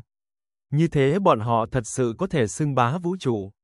Ở chỗ sâu trong vô cực đại thế giới, trong núi, biển, từng tòa cung điện hoa lệ liên miên không dứt, mỗi một tòa cung điện đều được ngưng tụ từ tinh quang, trôi nổi trên không trung. Đầy đủ mọi loại sắc thái trong thiên địa. Trong vòng vây của một ít cung điện hoa lệ có một tòa cung điện giống như hoàng giả, đứng sừng sững nơi đó. Rất nhiều nữ tử xinh đẹp mặc sa y bay tới bay lui, oanh ca yến hót, toàn bộ đều là mỹ nhân tuyệt sắc. Trên tấm bảng trước mặt cung điện viết ba chữ to vặn vẹo, Bắc Đấu Điện. Ba chữ này thật hùng hồn uy vũ, quân lâm thiên hà Chứng tỏ được viết bởi một nhân vật rất lợi hại. Trong Bắc Đấu Điện có tầng tầng lớp lớp không gian, kéo dài liên miên, bên trong rất thần bí. Nhưng mà lúc này ở trong đại điện hương diễm lại tràn ngập sát khí, gì? Ta để các ngươi đi bắt phệ hồn thánh thú. Toàn quân bị diệt, 34 đại cao thủ kim đan của Bắc Đấu Điện ta. Cả Vương Phục Long cũng đều bị phệ hồn thánh thú thôn phệ. Các ngươi làm cái gì vậy? Chẳng lẽ các ngươi muốn chết? Là muốn chết hả? Tổn thất như vậy ta cũng không gánh chịu nổi, nếu để lộ ra, sẽ khiến đám điện chủ khác công kích thầm tệ, khiến các nguyên lão viện trừng phạt xuống, ta liệu có thể nói gì đây? Một khuôn mặt tuấn mỹ, thế nhưng đồng tử trong con mắt nam nhân này lại ẩn giấu một cỗ khí tức tà dâm, hắn ngồi ngay ngắn trên một chiếc ghế. Cái ghế kia giống như long sàng, trên mặt điêu khắc chín con thái cổ thiên long, trông rất sống động, cả cái ghế đều được rèn bằng thiên tinh thạch chân quý nhất. Nhưng mà trên thiên tinh thạch còn khảm rất nhiều ngọc thạch tỏa ra hương khí thơm nước mũi. Loại ngọc thạch này tên là Thiên Hương Thanh Tâm Thạch, nếu như sau khi con người ngửi vào có thể khu trừ tâm ma, tinh thần cô động, phụ trợ tu luyện cảnh giới có thể tiến rất nhanh. Hơn nữa sau khi dùng tiên pháp tu luyện chuyên phá thần thông ma đạo, chân quý giống như thiên tinh thạch. Tại đỉnh cao nhất của chiếc giường này cư nhiên có khảm một viên cầu to cỡ đầu người. Viên cầu này tỏa ra lực lượng mênh mông, màu hồng, hào quang lộ liễm, thế nhưng nếu có cao thủ dùng thần niệm dò xét, thần niệm lập tức sẽ bị thôn phệ. Viên cầu này cư nhiên giống như ngôi sao, như mặt trời, một khỏa tinh hạch này chính là một viên hạch tâm của ngôi sao, tựa hồ như còn cường hãn hơn cả long mộc tinh hạch.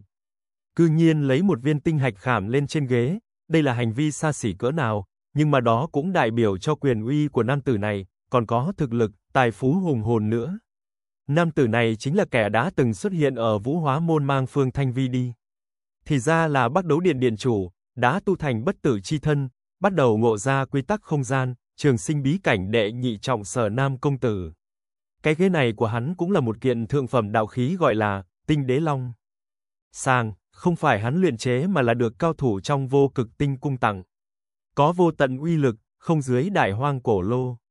Lúc này sở nam công tử ngồi phía trên tinh đế long sàng, phía dưới còn có hai cao thủ đang đứng thẳng là thương ảnh tử cùng lạc thủy bắc. Hai đại phó điện chủ này đang tiếp thụ lời răn dạy của hắn.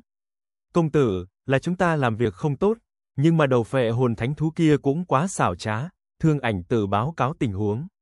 Nhưng mà thưa công tử, chúng ta coi như có chút thu hoạch, kết bạn được với một vị vạn cổ cự đầu, đến lúc đó công tử hạ cấm chế trong linh hồn hắn, chẳng phải hắn sẽ ngoan ngoãn nghe theo lệnh của chúng ta sao?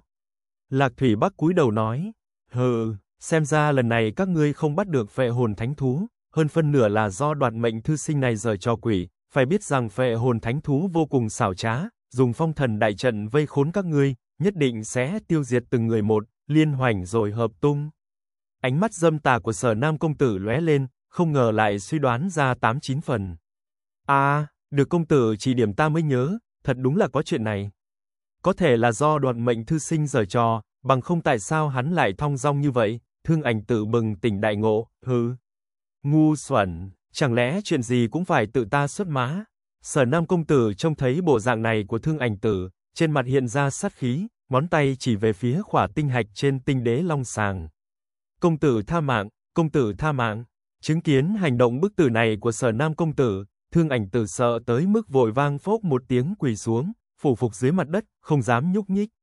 Một vị vạn cổ cự đầu cư nhiên phải quỳ xuống, ở bên tại vũ hóa môn, cho dù phong bạch vũ có quyền thế hiền hách, tu vi cao thâm, có thiên hoàng kính trong tay, như ý tử, thiên hình trường lão những người này cũng không phải quỳ trước mặt hắn.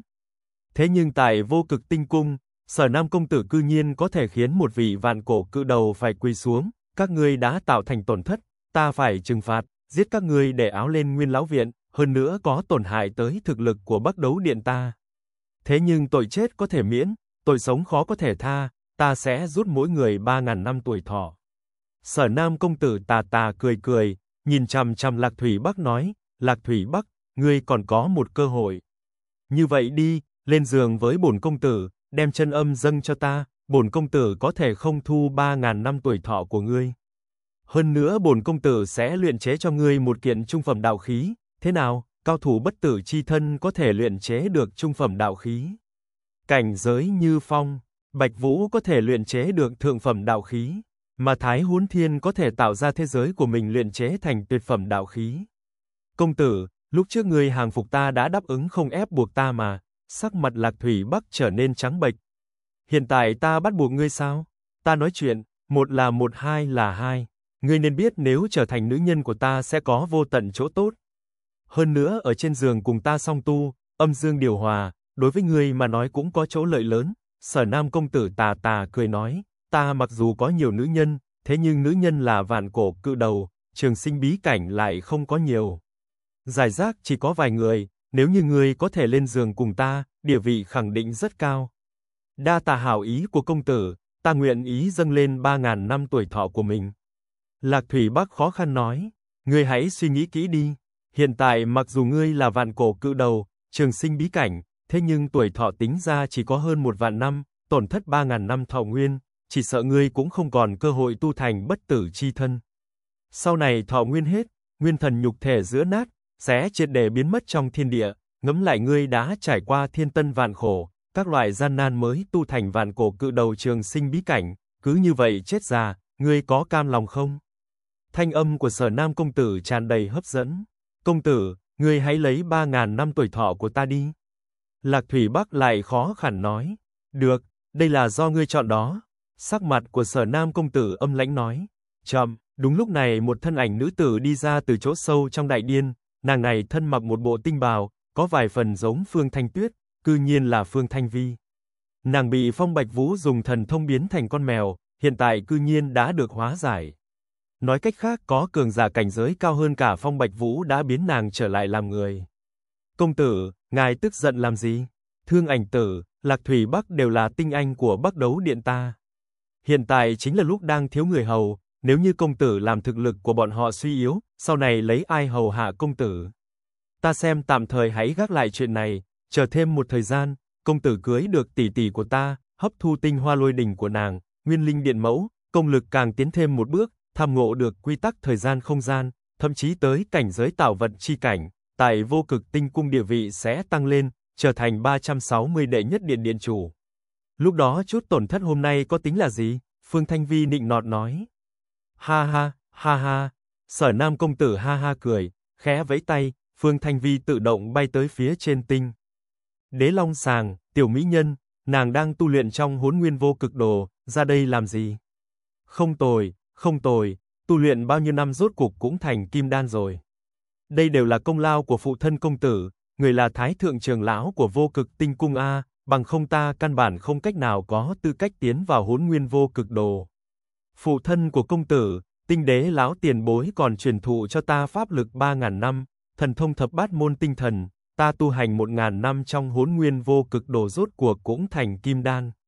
Hiện tại cũng đã đạt tới đỉnh phong, chỉ cần lịch lãm một chút có thể vượt qua phong hỏa đại kiếp, lúc đó sẽ có thực lực trợ giúp công tử rồi. Phương Thanh Vi đắc ý cười. Chương 468, Tinh đế long sàng, tốt, rất tốt.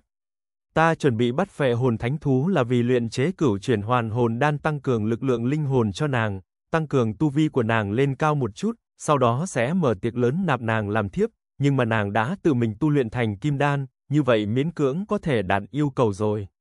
Sở Nam công tử híp mắt nhìn Phương Thanh Vi hồi lâu, giống như nhìn thấy một miếng mồi ngon muốn chậm chạp nhấm nháp vậy. Công tử hãy mau đồng thủ cướp lấy tỷ tỷ của ta vào trong tay đi. Bằng không khi nàng tu tới trường sinh bí cảnh trở thành vạn cổ cự đầu, lúc đó sẽ có chút phiền toái. Càng thêm đáng giận chính là bên người nàng còn có một người tên là Phương Hàn. Chính là truyền nhân của Hoàng Tuyền Đại Đế, hắn quỷ kế đa đoan, vô cùng xảo trá, hơn nữa lại nhìn chằm chằm tỷ tỷ của ta, hết lần này tới lần khác tỷ tỷ lại có hào cảm với hắn. Nếu công tử muốn có được tỷ tỷ ta, trước hết phải diệt trừ người này, trong ánh mắt của Phương Thanh Vi lóe lên tia âm mưu. Phương Hàn, truyền nhân của Hoàng Tuyền Đại Đế. Sở Nam công tử nghe vậy toàn thân tựa hồ như phấn chấn lên rất nhiều, thật giống như một đầu ác lang thấy con mồi vậy. Trên người hắn khẳng định có tuyệt phẩm đạo khí Hoàng Tuyền đồ kia chứ. Mặc dù ta đang ở vô cực đại thế giới thế nhưng Hoàng Tuyền Đại Đế tu luyện đại luân hồi thuật, thanh danh cũng sớm truyền bá tới mấy đại thế giới, ta cũng đã nghe qua tên hắn. Hoàng Tuyền đồ của hắn chính là một kiện tuyệt phẩm đạo khí. Tuy ta có nhiều chân tàng, thượng phẩm đạo khí cũng có vài món, uy lực cường hoành, nhưng lại không có một kiện tuyệt phẩm đạo khí nào. Mỗi một kiện tuyệt phẩm đạo khí đều là một thế giới, thế giới chi lực bao phủ, cơ hồ có thể vô địch. Nếu như ta chiếm được, có thể xưng bá chư thiên. Điện chủ 360 điện chủ của vô cực tinh cung, ta có thể trổ hết tài năng, thậm chí ngay cả một vài vị thái thượng trường lão cũng không phải đối thủ của ta, tuyệt phẩm đạo khí, không phải cao thủ bình thường có thể có được, cấp bậc như tiên đạo thập môn thường thường cũng chỉ có một kiện, là pháp bảo để chấn áp khí vận của đại giáo. Phải có trên 10 hoặc trăm vị vạn cổ cự đầu mới có thể thúc giục được toàn bộ uy lực của nó. Phương Hàn, kẻ này có ý với tỷ tỷ nàng, mà tỷ tỷ nàng lại có hảo cảm với hắn. Chỉ bằng vào chuyện này hắn nhất định phải chết, trên trời dưới đất không ai có thể cứu được hắn. Sở Nam công tử cười tà, sát khí nồng đậm tỏa ra, nói, như vậy nàng hãy đem một chút tin tức về hắn nói cho ta biết, ta sẽ tự tới huyền hoàng đại thế giới một chuyến, giết chết kẻ này. Không, sẽ không, giết chết hắn, mà biến hắn cũng trở thành heo chó, sau đó để nàng chơi đùa, thế nào, tốt nhất là như vậy, Phương Thanh Vi nghe thế, âm thầm mừng rỡ nói, công tử thật có khí phách. Nhưng mà thực lực của tên Phương Hàn này không phải tầm thường, bổn mạng thiên địa pháp tương của hắn rất cường đại, còn có thể giết chết một vị vạn cổ cự đầu nữa. Trong lúc nói chuyện nàng liền đem một chút tin tức về chuyện Phương Hàn giết chết như ý tử nói ra.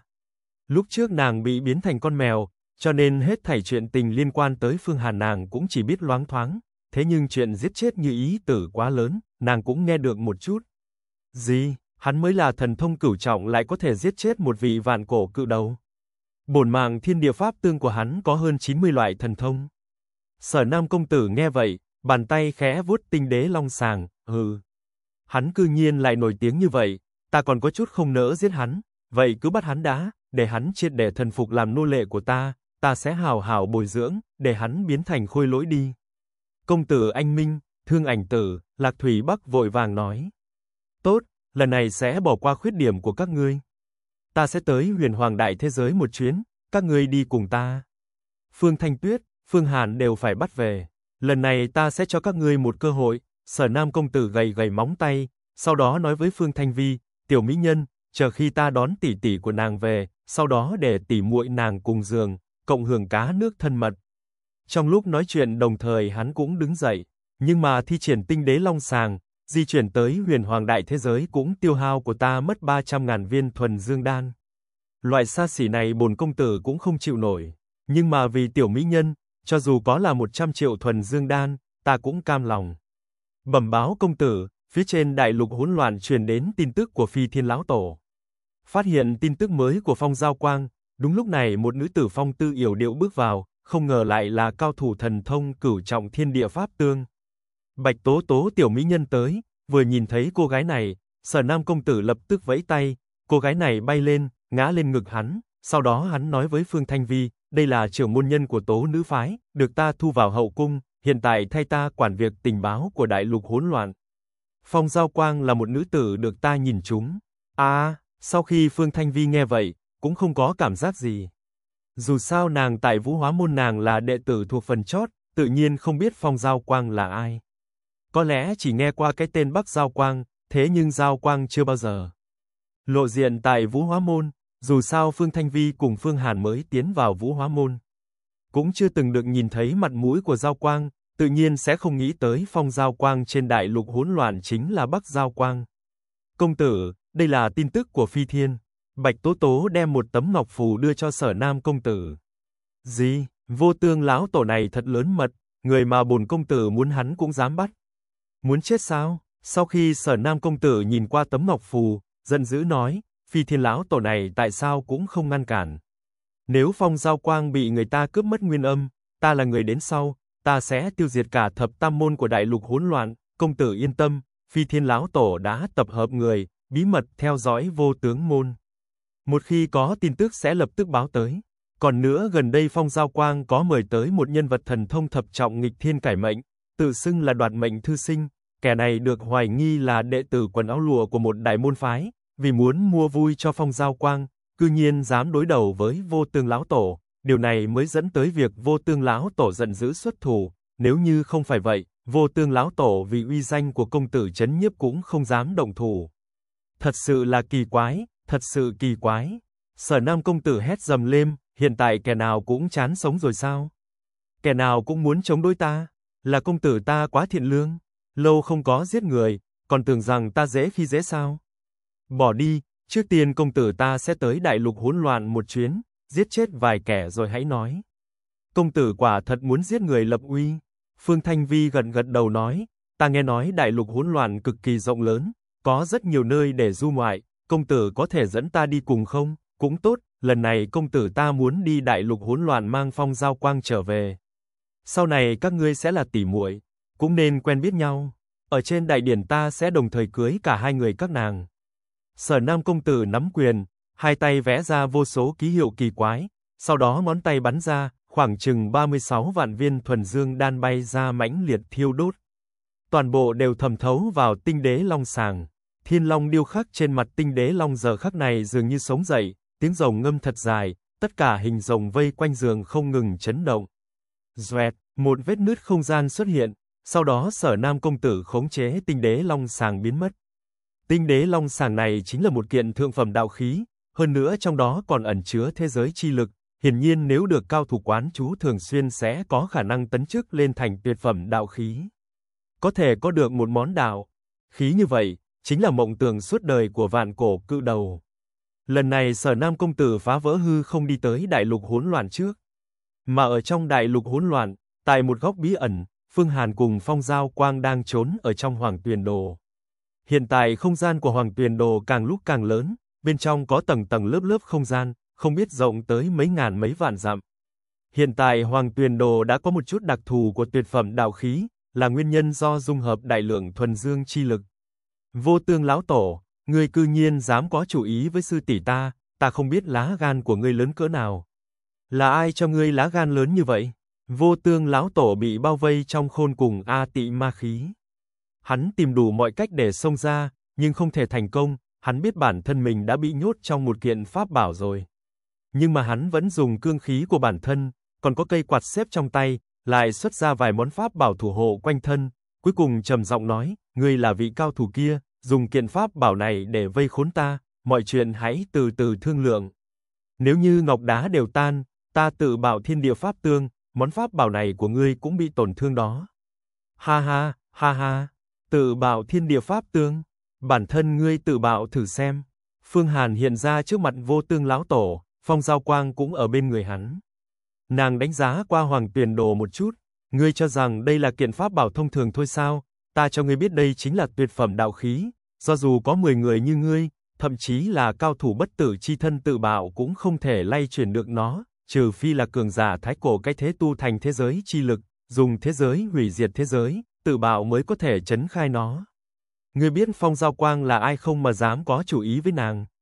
Ngươi là cái thứ gì chứ? Vô Tương lão tổ nhìn Phương Hàn cùng Phong Giao Quang, trầm giọng nói, các ngươi rốt cuộc là ai? Phong Giao Quang, ngươi không phải là trưởng môn của Giao Quang phái sao? Chẳng lẽ ngươi còn có thân phận khác? Nếu như ngươi có địa vị, vậy lần trước Thiên Cương lão tổ đuổi giết, tại sao ngươi phải chạy trốn? Hừ. Thiên Cương lão tổ là loại người gì? 13 đại môn phái của đại lục hỗn loạn đều là tiểu môn phái. Phương Hàn liên tục cười lạnh, hôm nay ta sẽ cho ngươi được chết minh bạch, Giao Quang Sư tỷ chính là thiên kim của trường giáo trí tôn vũ hóa môn ở huyền hoàng đại thế giới, chỉ bằng tên cao thủ nho nhỏ ngươi lại có chủ ý với nàng.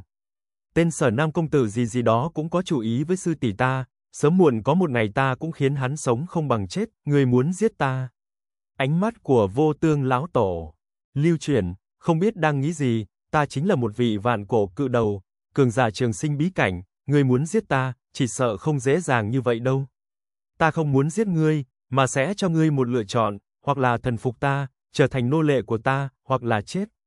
Ngay từ đầu Phương Hàn đã có ý dùng đại phổ độ thiện quang độ hóa vô tương lão tổ, hắn đã tu thành tiểu túc mệnh thuật, nắm chắc phần lớn có thể độ hóa được vạn cổ cự đầu, nếu như có thể bức đối phương thần phục, đó là chuyện không thể nào tốt hơn.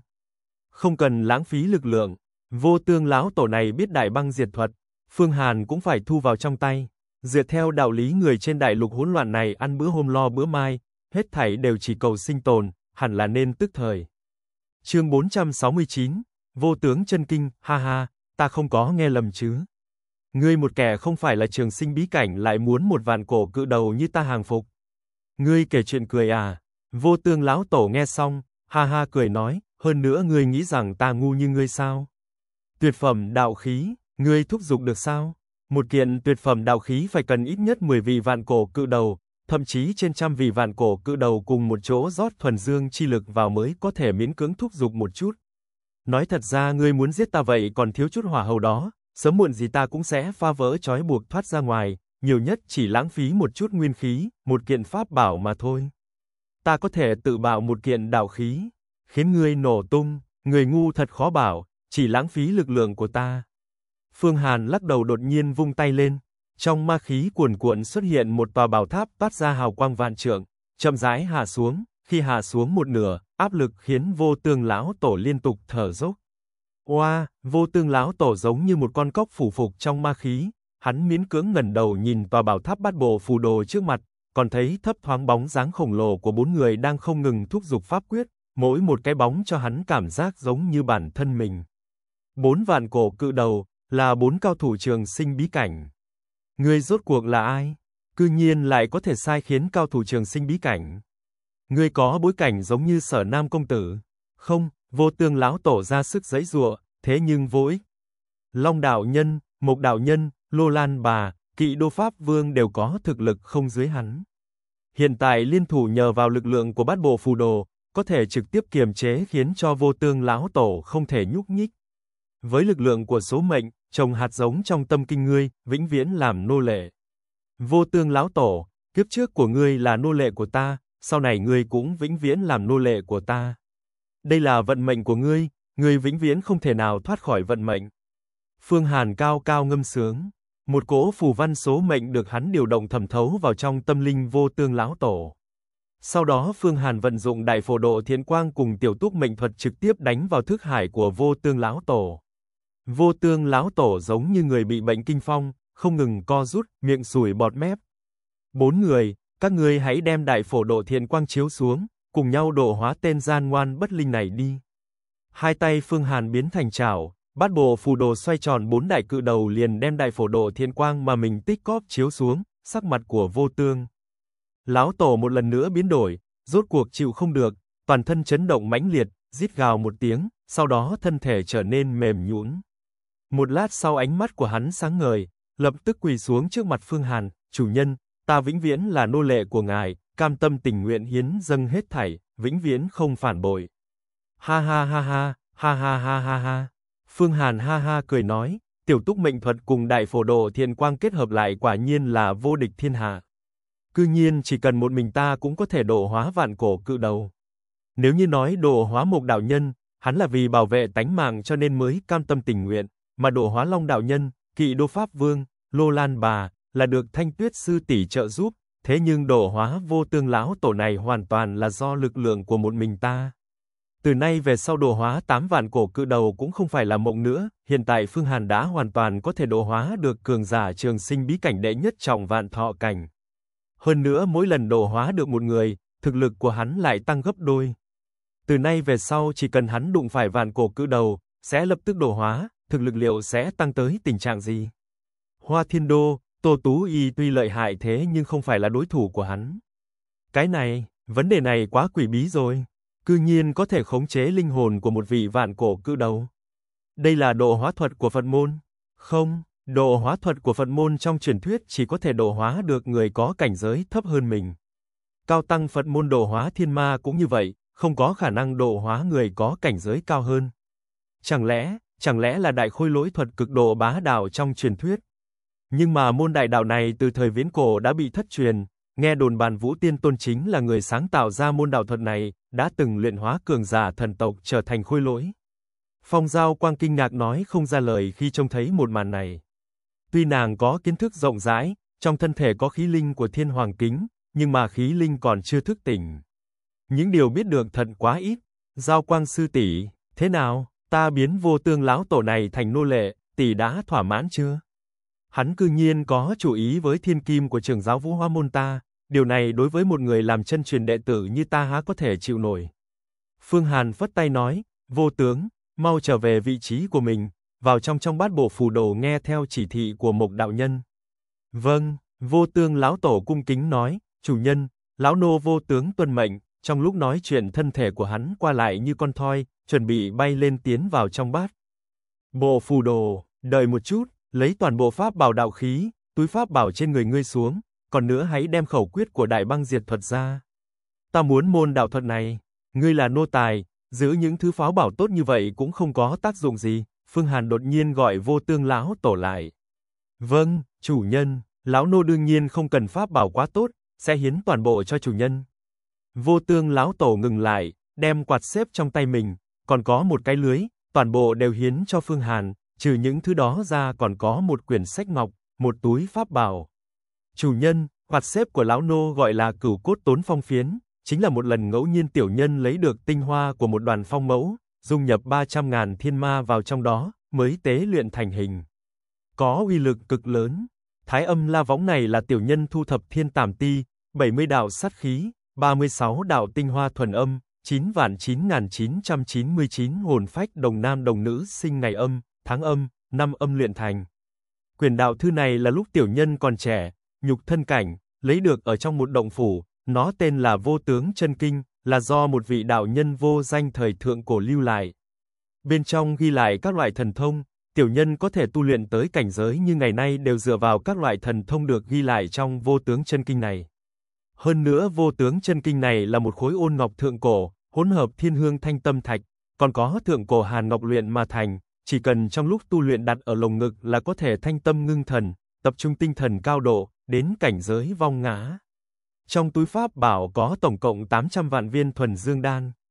Mặt khác vô tướng môn của tiểu nhân còn có sản nghiệp khổng lồ, một ít đồ tử đồ tôn, trong bảo khố của vô tướng môn còn có một ít mảnh vỡ đạo khí. Đại lượng thiên tài địa bảo, xin chủ nhân tới vô tướng môn của tiểu nhân. Tiền nhân sẽ đem toàn bộ những thứ đó hiến cho chủ nhân. Đại băng thuật cũng có trong vô tướng chân kinh. Xin mời chủ nhân xem. Xuất xứ của môn đạo thuật này là do lần đó tiểu nhân cùng thiên cương lão tổ, phi thiên lão tổ bọn người tại chỗ sâu trong đại lục hỗn loạn ác đấu với một tên ma thần, lấy được một quyển bí lục thiên ma trên người hắn, bên trong có ghi lại rất nhiều pháp môn, nhưng mà quyển bí lục thiên ma này cuối cùng lại rơi vào trong tay đệ nhất phái đại lục hỗn loạn, nguyên nguyên lão tổ. Hắn cũng cậy vào bí lục thiên ma tu thành bất tử chi thân đó. Vô tương lão tổ nửa quỳ trên không trung, thật sự tư thái của một kẻ nô lệ, giống như đã được huấn luyện rất lâu rồi, trong linh hồn khắc sâu. Ý niệm bản thân chính là nô lệ, bằng không cho dù có thực sự là đầy tớ, cũng không cung kính được như vậy, cái này không thể giả tạo. Đây là chỗ bá đạo của tiểu túc mệnh thuật, trong lòng vô tương lão tổ, hắn đã tin tưởng số mệnh của mình đã chú định bản thân chính là nô lệ của Phương Hàn. Dù thế nào cũng không thể cải biến được. Ừm, cũng không tệ lắm, cửu cốt tốn vong phiến, thái âm la võng. Đáng chết, thái âm la võng này của ngươi cư nhiên dùng nhiều hồn phách đồng nam đồng nữ như vậy, chỉ với điểm này cho dù đánh chết ngươi cũng không hết tổ. Sau này ngươi phải đền bù tội lỗi của mình đi. Phương Hàn tiếp nhận mấy loại pháp bảo này, tiện tay xem qua vô tướng chân kinh một chút, quả nhiên vừa tới tay, quyền chân kinh này truyền tới một cỗ khí tức ôn hóa mà mát lạnh, còn có mùi thơm nhàn nhạt khiến cho người ta thanh tỉnh, tinh thần tập trung tập trung hết sức chăm chú trước nay chưa từng có. Bên trong chân kinh quả nhiên ghi lại rất nhiều thần thông, nhất là một loại thần thông trong đó, vô tương vô ảnh thân chính là vận dụng pháp lực bản thân thu thập thiên địa nguyên từ, lực từ tính, dung nhập vào bổn mạng cương khí, tùy ý khẽ động tạo thành lực từ trường vặn vẹo, khiến đối thủ không thể phát hiện ra bất kỳ động tĩnh nào của mình, rất huyền diệu. Đương nhiên cũng có cả đại băng diệt thuật của vô tương lão tổ ở trong đó. Về phần túi pháp bảo của vô tương lão tổ, trong đó đều là thuần dương đan, khoảng chừng 800 vạn viên.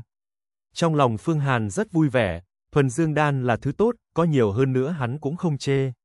Giao quang sư tỷ, cửu cốt tốn phong phiến, thái âm la võng hai kiện pháp bảo này đều là hạ phẩm đạo khí, uy lực vô tận, tỷ chọn một kiện đi, Phương Hàn nói. Phong giao quang ngẩn ra, sau đó lắc đầu nói, vô công bất thụ lộc, ngươi đã giúp ta hàng phục vô tương lão tổ, ta còn phải cảm ơn ngươi. Hai kiện pháp bảo kia ta cũng không cần. Sư tỷ nên đi tiếp thu cơ nghiệp của vô tướng môn. Phương Hàn đem hai kiện pháp bảo ném vào trong bát bộ phù đồ, rồi nói, Mục đạo nhân, ngươi chuyển thụ bí kíp thiên long cho vô tướng đi, sau đó phân giải hai kiện pháp bảo để chúng nó dung nhập vào trong bát bộ phù đồ, hoặc là để tu bổ phong thần bi cũng được, vâng. Mục đạo nhân gật gật đầu, lập tức trong bát bộ phù đồ lại có thêm một vị vạn cổ cự đầu. Hiện tại có 5 vị vạn cổ cự đầu, Mục đạo nhân, Long đạo nhân, Kỵ đô pháp vương, Lô Lan bà, Vô Tương lão tổ, dựa theo phương vị ngũ hành đều tự vận chuyển, nguyên khí trong bát bộ phù đồ càng thêm dư thừa. Trọn vẹn 500 vạn thiên ma, 3.000 đầu thiên ma vương, sinh lực của mỗi tên đều mạnh thêm gấp trăm lần. Mục đạo nhân, đã chuẩn bị xong, dược liệu luyện chết cửu chuyển hoàn hồn đan chưa? Sau khi Phương Hàn an bài xong, hắn lại phát ra một đạo thần niệm.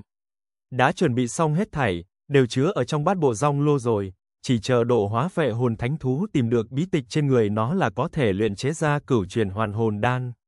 Tốt, cờ ta dàn xếp xong chuyện của phong giao quang, chúng ta sẽ toàn lực độ hóa phệ hồn thánh thú. Trong lòng Phương Hàn âm thầm tính toán, thanh tuyết sư tỷ, ta nhất định sẽ cứu sống tỷ. Tỷ chờ nhé. Chương 470, Đại sát lục thuật, giao quang sư tỷ, ngay bây giờ chúng ta sẽ đi vô tướng môn, hiện tại vô tương lão tổ đã thành nô lệ của ta, ta nói gì hắn sẽ nghe đó. Trước tiên chúng ta hãy tới vô tướng môn, ta dùng đại phổ độ thiền quang độ hóa đám đệ tử nòng cốt trong đó. Sau đó sẽ dùng khí thế xét đánh không kịp bưng tay tiếp nhận vào vô tướng môn. Bởi như vậy một số môn phái khác trên đại lục hỗn loạn sẽ không biết, vô tương phái thật ra đã thành giao quang phái rồi. Phương Hàn vung tay lên, hoàng tuyền đồ thu nhỏ lại, phong giao quang cũng bị kéo ra. Đúng vậy, nếu như chúng ta cứ gióng chống khui chiên tiếp nhận vô tướng môn khẳng định sẽ tạo thành chấn động, sẽ bị đám môn phái khác ở đại lục hỗn loạn đố kỵ, thậm chí bọn chúng sẽ liên hợp lại đối phó với chúng ta. Chúng ta cứ âm thầm xuất thủ, để vô tương lão tổ xuất đầu. Cuối cùng chúng ta sẽ tìm cơ hội biến cả đám người phi thiên lão tổ, thiên cương lão tổ thành nô lệ. Trở thành một cỗ thế lực lớn nhất trên đại lục hỗn loạn. Phong Giao Quang gật gật đầu, đối với chuyện này, trong nội tâm nàng rất rõ ràng. Tốt lắm, hiện tại chúng ta sẽ lập tức tới vô tướng môn. Ta sẽ dùng hoàng tuyền đồ che giấu thân hình, Phương Hàn liên tục biến hóa che giấu tất cả khí tức, dựa theo phương hướng mà phong giao quang chỉ điểm bay tới sơn môn vô tướng môn. Hiện tại hai người muốn tới vô tướng môn tiếp nhận môn phái này. Nhưng mà trong lúc Phương Hàn phi hành, năm đại cự đầu trong bát bộ phù đồ đồng thời chuẩn bị thỏa đáng, bổn mạng thiên địa pháp tương của hắn cũng tiến vào trong hoàng tuyền đồ, tới chỗ sâu nhất trong A Tị Chi môn nơi chấn áp phệ hồn thánh thú. Bây giờ hắn muốn dùng tiểu túc mệnh thuật, đại phổ độ thiện quang độ hóa đầu phệ hồn thánh thú này, sau khi tìm được các loại bí mật trên người nó, cuối cùng mới luyện chế thành đầu ma thú này thành cửu truyền hoàn hồn đan. Lúc Phương Hàn chuẩn bị hết thảy, huyền hoàng đại thế giới, vũ hóa môn, trong vũ hóa thiên cung cũng đang phát sinh một chuyện. Thiên hình trường lão một lần nữa tìm tới trường giáo trí tôn phong Bạch Vũ. Trường giáo sư huynh, Phương Hàn ly khai luân hồi phong, đã rời đi một khoảng thời gian tương đối lâu rồi. Ta tại Lục Đạo Minh nghe được một tin không tốt, nói là Phương Hàn cùng Phương Thanh Tuyết tại Long Mộc Tinh Hạch đã bị điện chủ Diêm La Tô Tú y ám toán. Hiện tại cả hai đều đã bỏ mình. Đệ nhất phó trưởng môn của Thái Nhất Môn, Nguyên Linh Thượng Cổ Hòa Thần Xích Dung Thiên đã bị Sâm La Điện chủ Ba Lập Minh đánh bại. Thiên hình trường lão ở trong thời không của Vũ Hóa Môn, vừa nhìn thấy Phong Bạch Vũ liền vội vàng nói. Gì, có chuyện như vậy sao? Phong Bạch Vũ bấm ngón tay, thiên hoàng kính. Trên đỉnh đầu xoay tròn, tựa hồ như đang tính toán gì đó. Không có, Phương Hàn còn sống, theo suy đoán của ta, hẳn là không sai. Thế nhưng bổn mạng của Phương Thanh Tuyết lại mờ mịt không rõ. Nhưng cũng chưa triệt để tiêu tán, cũng không phải dấu hiệu vẫn lạc. Vậy có phải bọn họ bị phong ấn hay không? Bị Tô Tú Y bắt, rơi vào độc thủ của hắn. Thần sắc của thiên hình trường lão có phần nóng nảy mất bình tĩnh nói tiếp, Tô Tú Y, rất tốt, cư nhiên che giấu sâu như vậy, không xuất thủ thì thôi, một khi xuất thủ lại muốn chặt đứt căn cơ của vũ hóa môn ta. Trường giáo sư huynh, ta dám cam đoan Tô Tú Y này nhất định chiếm được chỗ tốt gì đó, bằng không hắn sẽ không phạm phải sai lầm lớn như vậy. Thiên hình trường lão dừng một chút rồi nói tiếp, trường giáo sư huynh, mấy ngày nay huynh tu luyện, ước chừng còn không biết, ma đạo đã xảy ra một chuyện kinh thiên động địa. Tô Tú Y đã phát ra chiến thiếp, muốn sau một năm rưỡi nữa sẽ khiêu chiến với đệ nhất nhân ma đạo, ứng tiên thiên, địa điểm quyết chiến tại đỉnh Thánh Sơn của ma đạo. Việc này đã làm oanh động tiên ma hai đạo, nếu như không phải chiếm được hoàng tuyền đồ, Tô Tú Y tuyệt đối sẽ không dám làm như thế. Vậy sao, cũng nên tới rồi, cũng nên tới rồi, kỳ quái chính là sau khi Phong Bạch Vũ nghe thấy cái tin này, cũng không có chút khiếp sợ nào, dường như đó là chuyện đương nhiên vậy, Tô Tú Y là người chiếm được Hoàng Thư. Thiên Hoàng Kính, Hoàng Thư, nhân Hoàng Bút Tam Đạo Pháp Bảo này có một tia cảm ứng lẫn nhau trong vô tận tối tăm. Tô Tú Y ẩn nhẫn ngàn năm rốt cục cũng xuất thủ, muốn thống nhất ma đạo, làm minh chủ của ma đạo, đột nhiên Phong Bạch Vũ cười cười nói, ứng tiên thiên à ứng tiên thiên, chỉ mong ngươi có thể đủ năng lực để thoát được kiếp số này. Tô Tú Y cũng không phải kẻ dễ đối phó đâu. Vì sao? Tô Tú Y còn lợi hại hơn ứng tiên thiên sao? Thiên hình trường lão không tin. Cũng không thể nói như vậy, dù sao hai người cũng sẽ nổ ra một trận long tranh hổ đấu.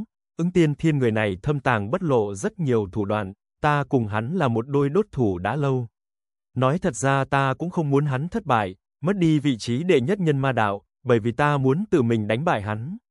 Phong Bạch Vũ khoát khoát tay nói, thiên hình, ngươi không cần phải gấp gáp, bổn mạng nguyên quang của Phương Hàn vẫn còn rất nồng đậm khí vận, không giống như bộ dạng bị phong ấn, ngươi không phải lo lắng. Phương Hàn, Phương Thanh Tuyết đều sẽ trở lại. Đến lúc đó trong vũ hóa môn ta chỉ sợ sẽ nổ ra ngũ hùng tranh phách thôi. Gì, ngũ hùng tranh phách, sao lại là ngũ hùng?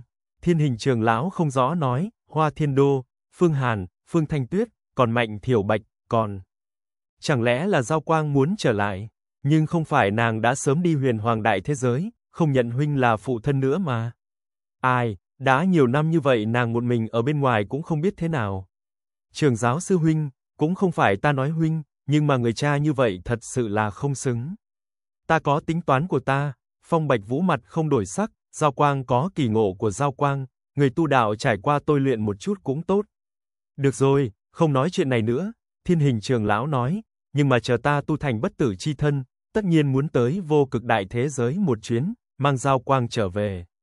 Đúng rồi, huynh vừa mới nói ngũ hùng tranh phách, trong đó mạnh thiểu bạch kém hơn một chút, nhưng mà hắn tu luyện trong vũ hóa thiên cung lâu như vậy, tối thiểu cũng vài chục năm a, chẳng lẽ hắn cũng sắp tu thành trường sinh bí cảnh, quả thật là nhanh, hắn vừa tiến vào vũ hóa thiên cung, mới tu luyện 3 năm, ở bên ngoài là 3 tháng liền triệt để kết hợp tính mạng đặc thù của côn bằng với nguyên năng của bản thân, còn được phục dụng phi thăng đan mà Thái Thượng Trường Lão ban cho.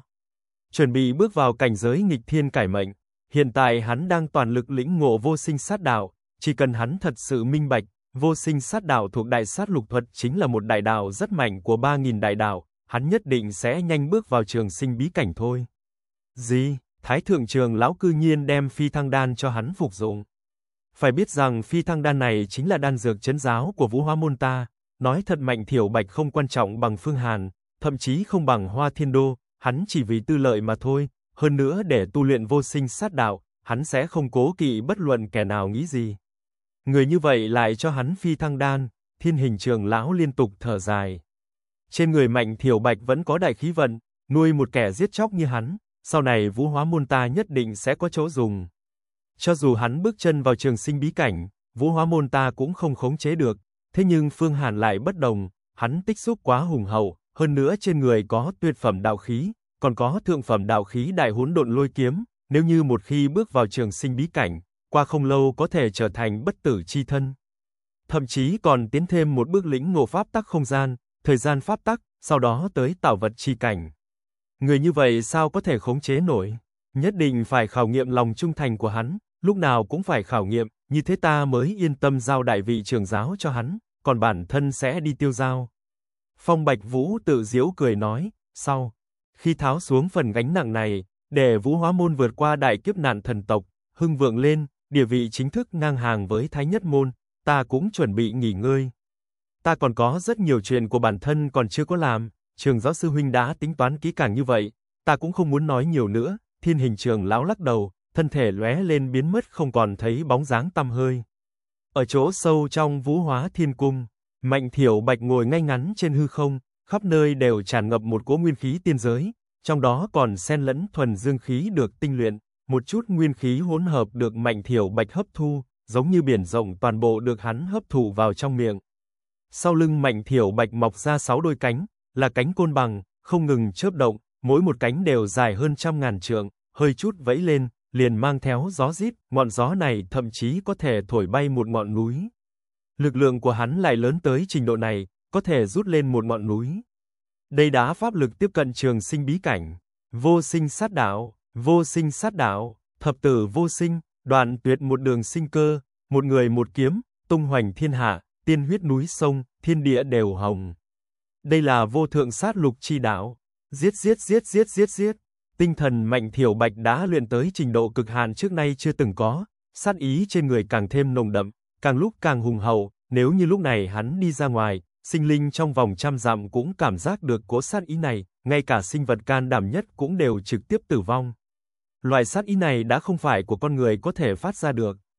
Thậm chí ma đầu tối cực ác nhất cũng khó có trái tim giết chóc như thế này. Sát lục chi đạo, một lòng tồn tại, chém chết vạn vật, bất luận cái gì, bất kỳ chướng ngại đều chỉ có một chữ, đó chính là giết. Mạnh thiểu bạch đột nhiên bừng tỉnh đại ngộ, vô sinh sát đạo nguyên lai gọi là đại sát lục thuật, là một loại đạo thuật bổn nguyên, vô thượng thần thông siêu việt, buồn cười, trước kia ta một mực không lĩnh ngộ được, cho nên đạo thuật của bản thân mới dừng lại tại đây, cũng không thể nghĩ tới, vô sinh sát đạo lại huyền diệu như vậy. Sát khí dày đặc phát ra trên người hắn, một cỗ sát ý trên đỉnh đầu hắn co rút lại, ngưng tụ thành hình dáng một trái tim. Trái tim hoàn toàn do sát ý áp xúc mà thành này chính là giết chóc chi tâm, đặc thù của đại sát lục thuật, một trong những ba nghìn đại đạo chính là sát ý tự thân ngưng tụ thành một trái tim sát lục. Cánh cửa tiên giới, hiện ra đi. Mạnh thiểu bạch ha ha cười, ở chỗ sâu trong vô tận thời không trên đỉnh đầu bắt đầu hiện ra. Một cái cánh cửa tiên giới. Thời khắc này hắn muốn đánh sâu vào trường sinh bí cảnh, hắn tại chỗ sâu trong thời không vũ hóa môn tu luyện mấy chục năm. Có phục dụng một viên đan dược trí bảo của vũ hóa môn là phi thăng đan. Hiện tại đột nhiên lĩnh ngộ đại sát lục thuật, thời điểm này hắn cũng có cảm giác đột phá bình cảnh.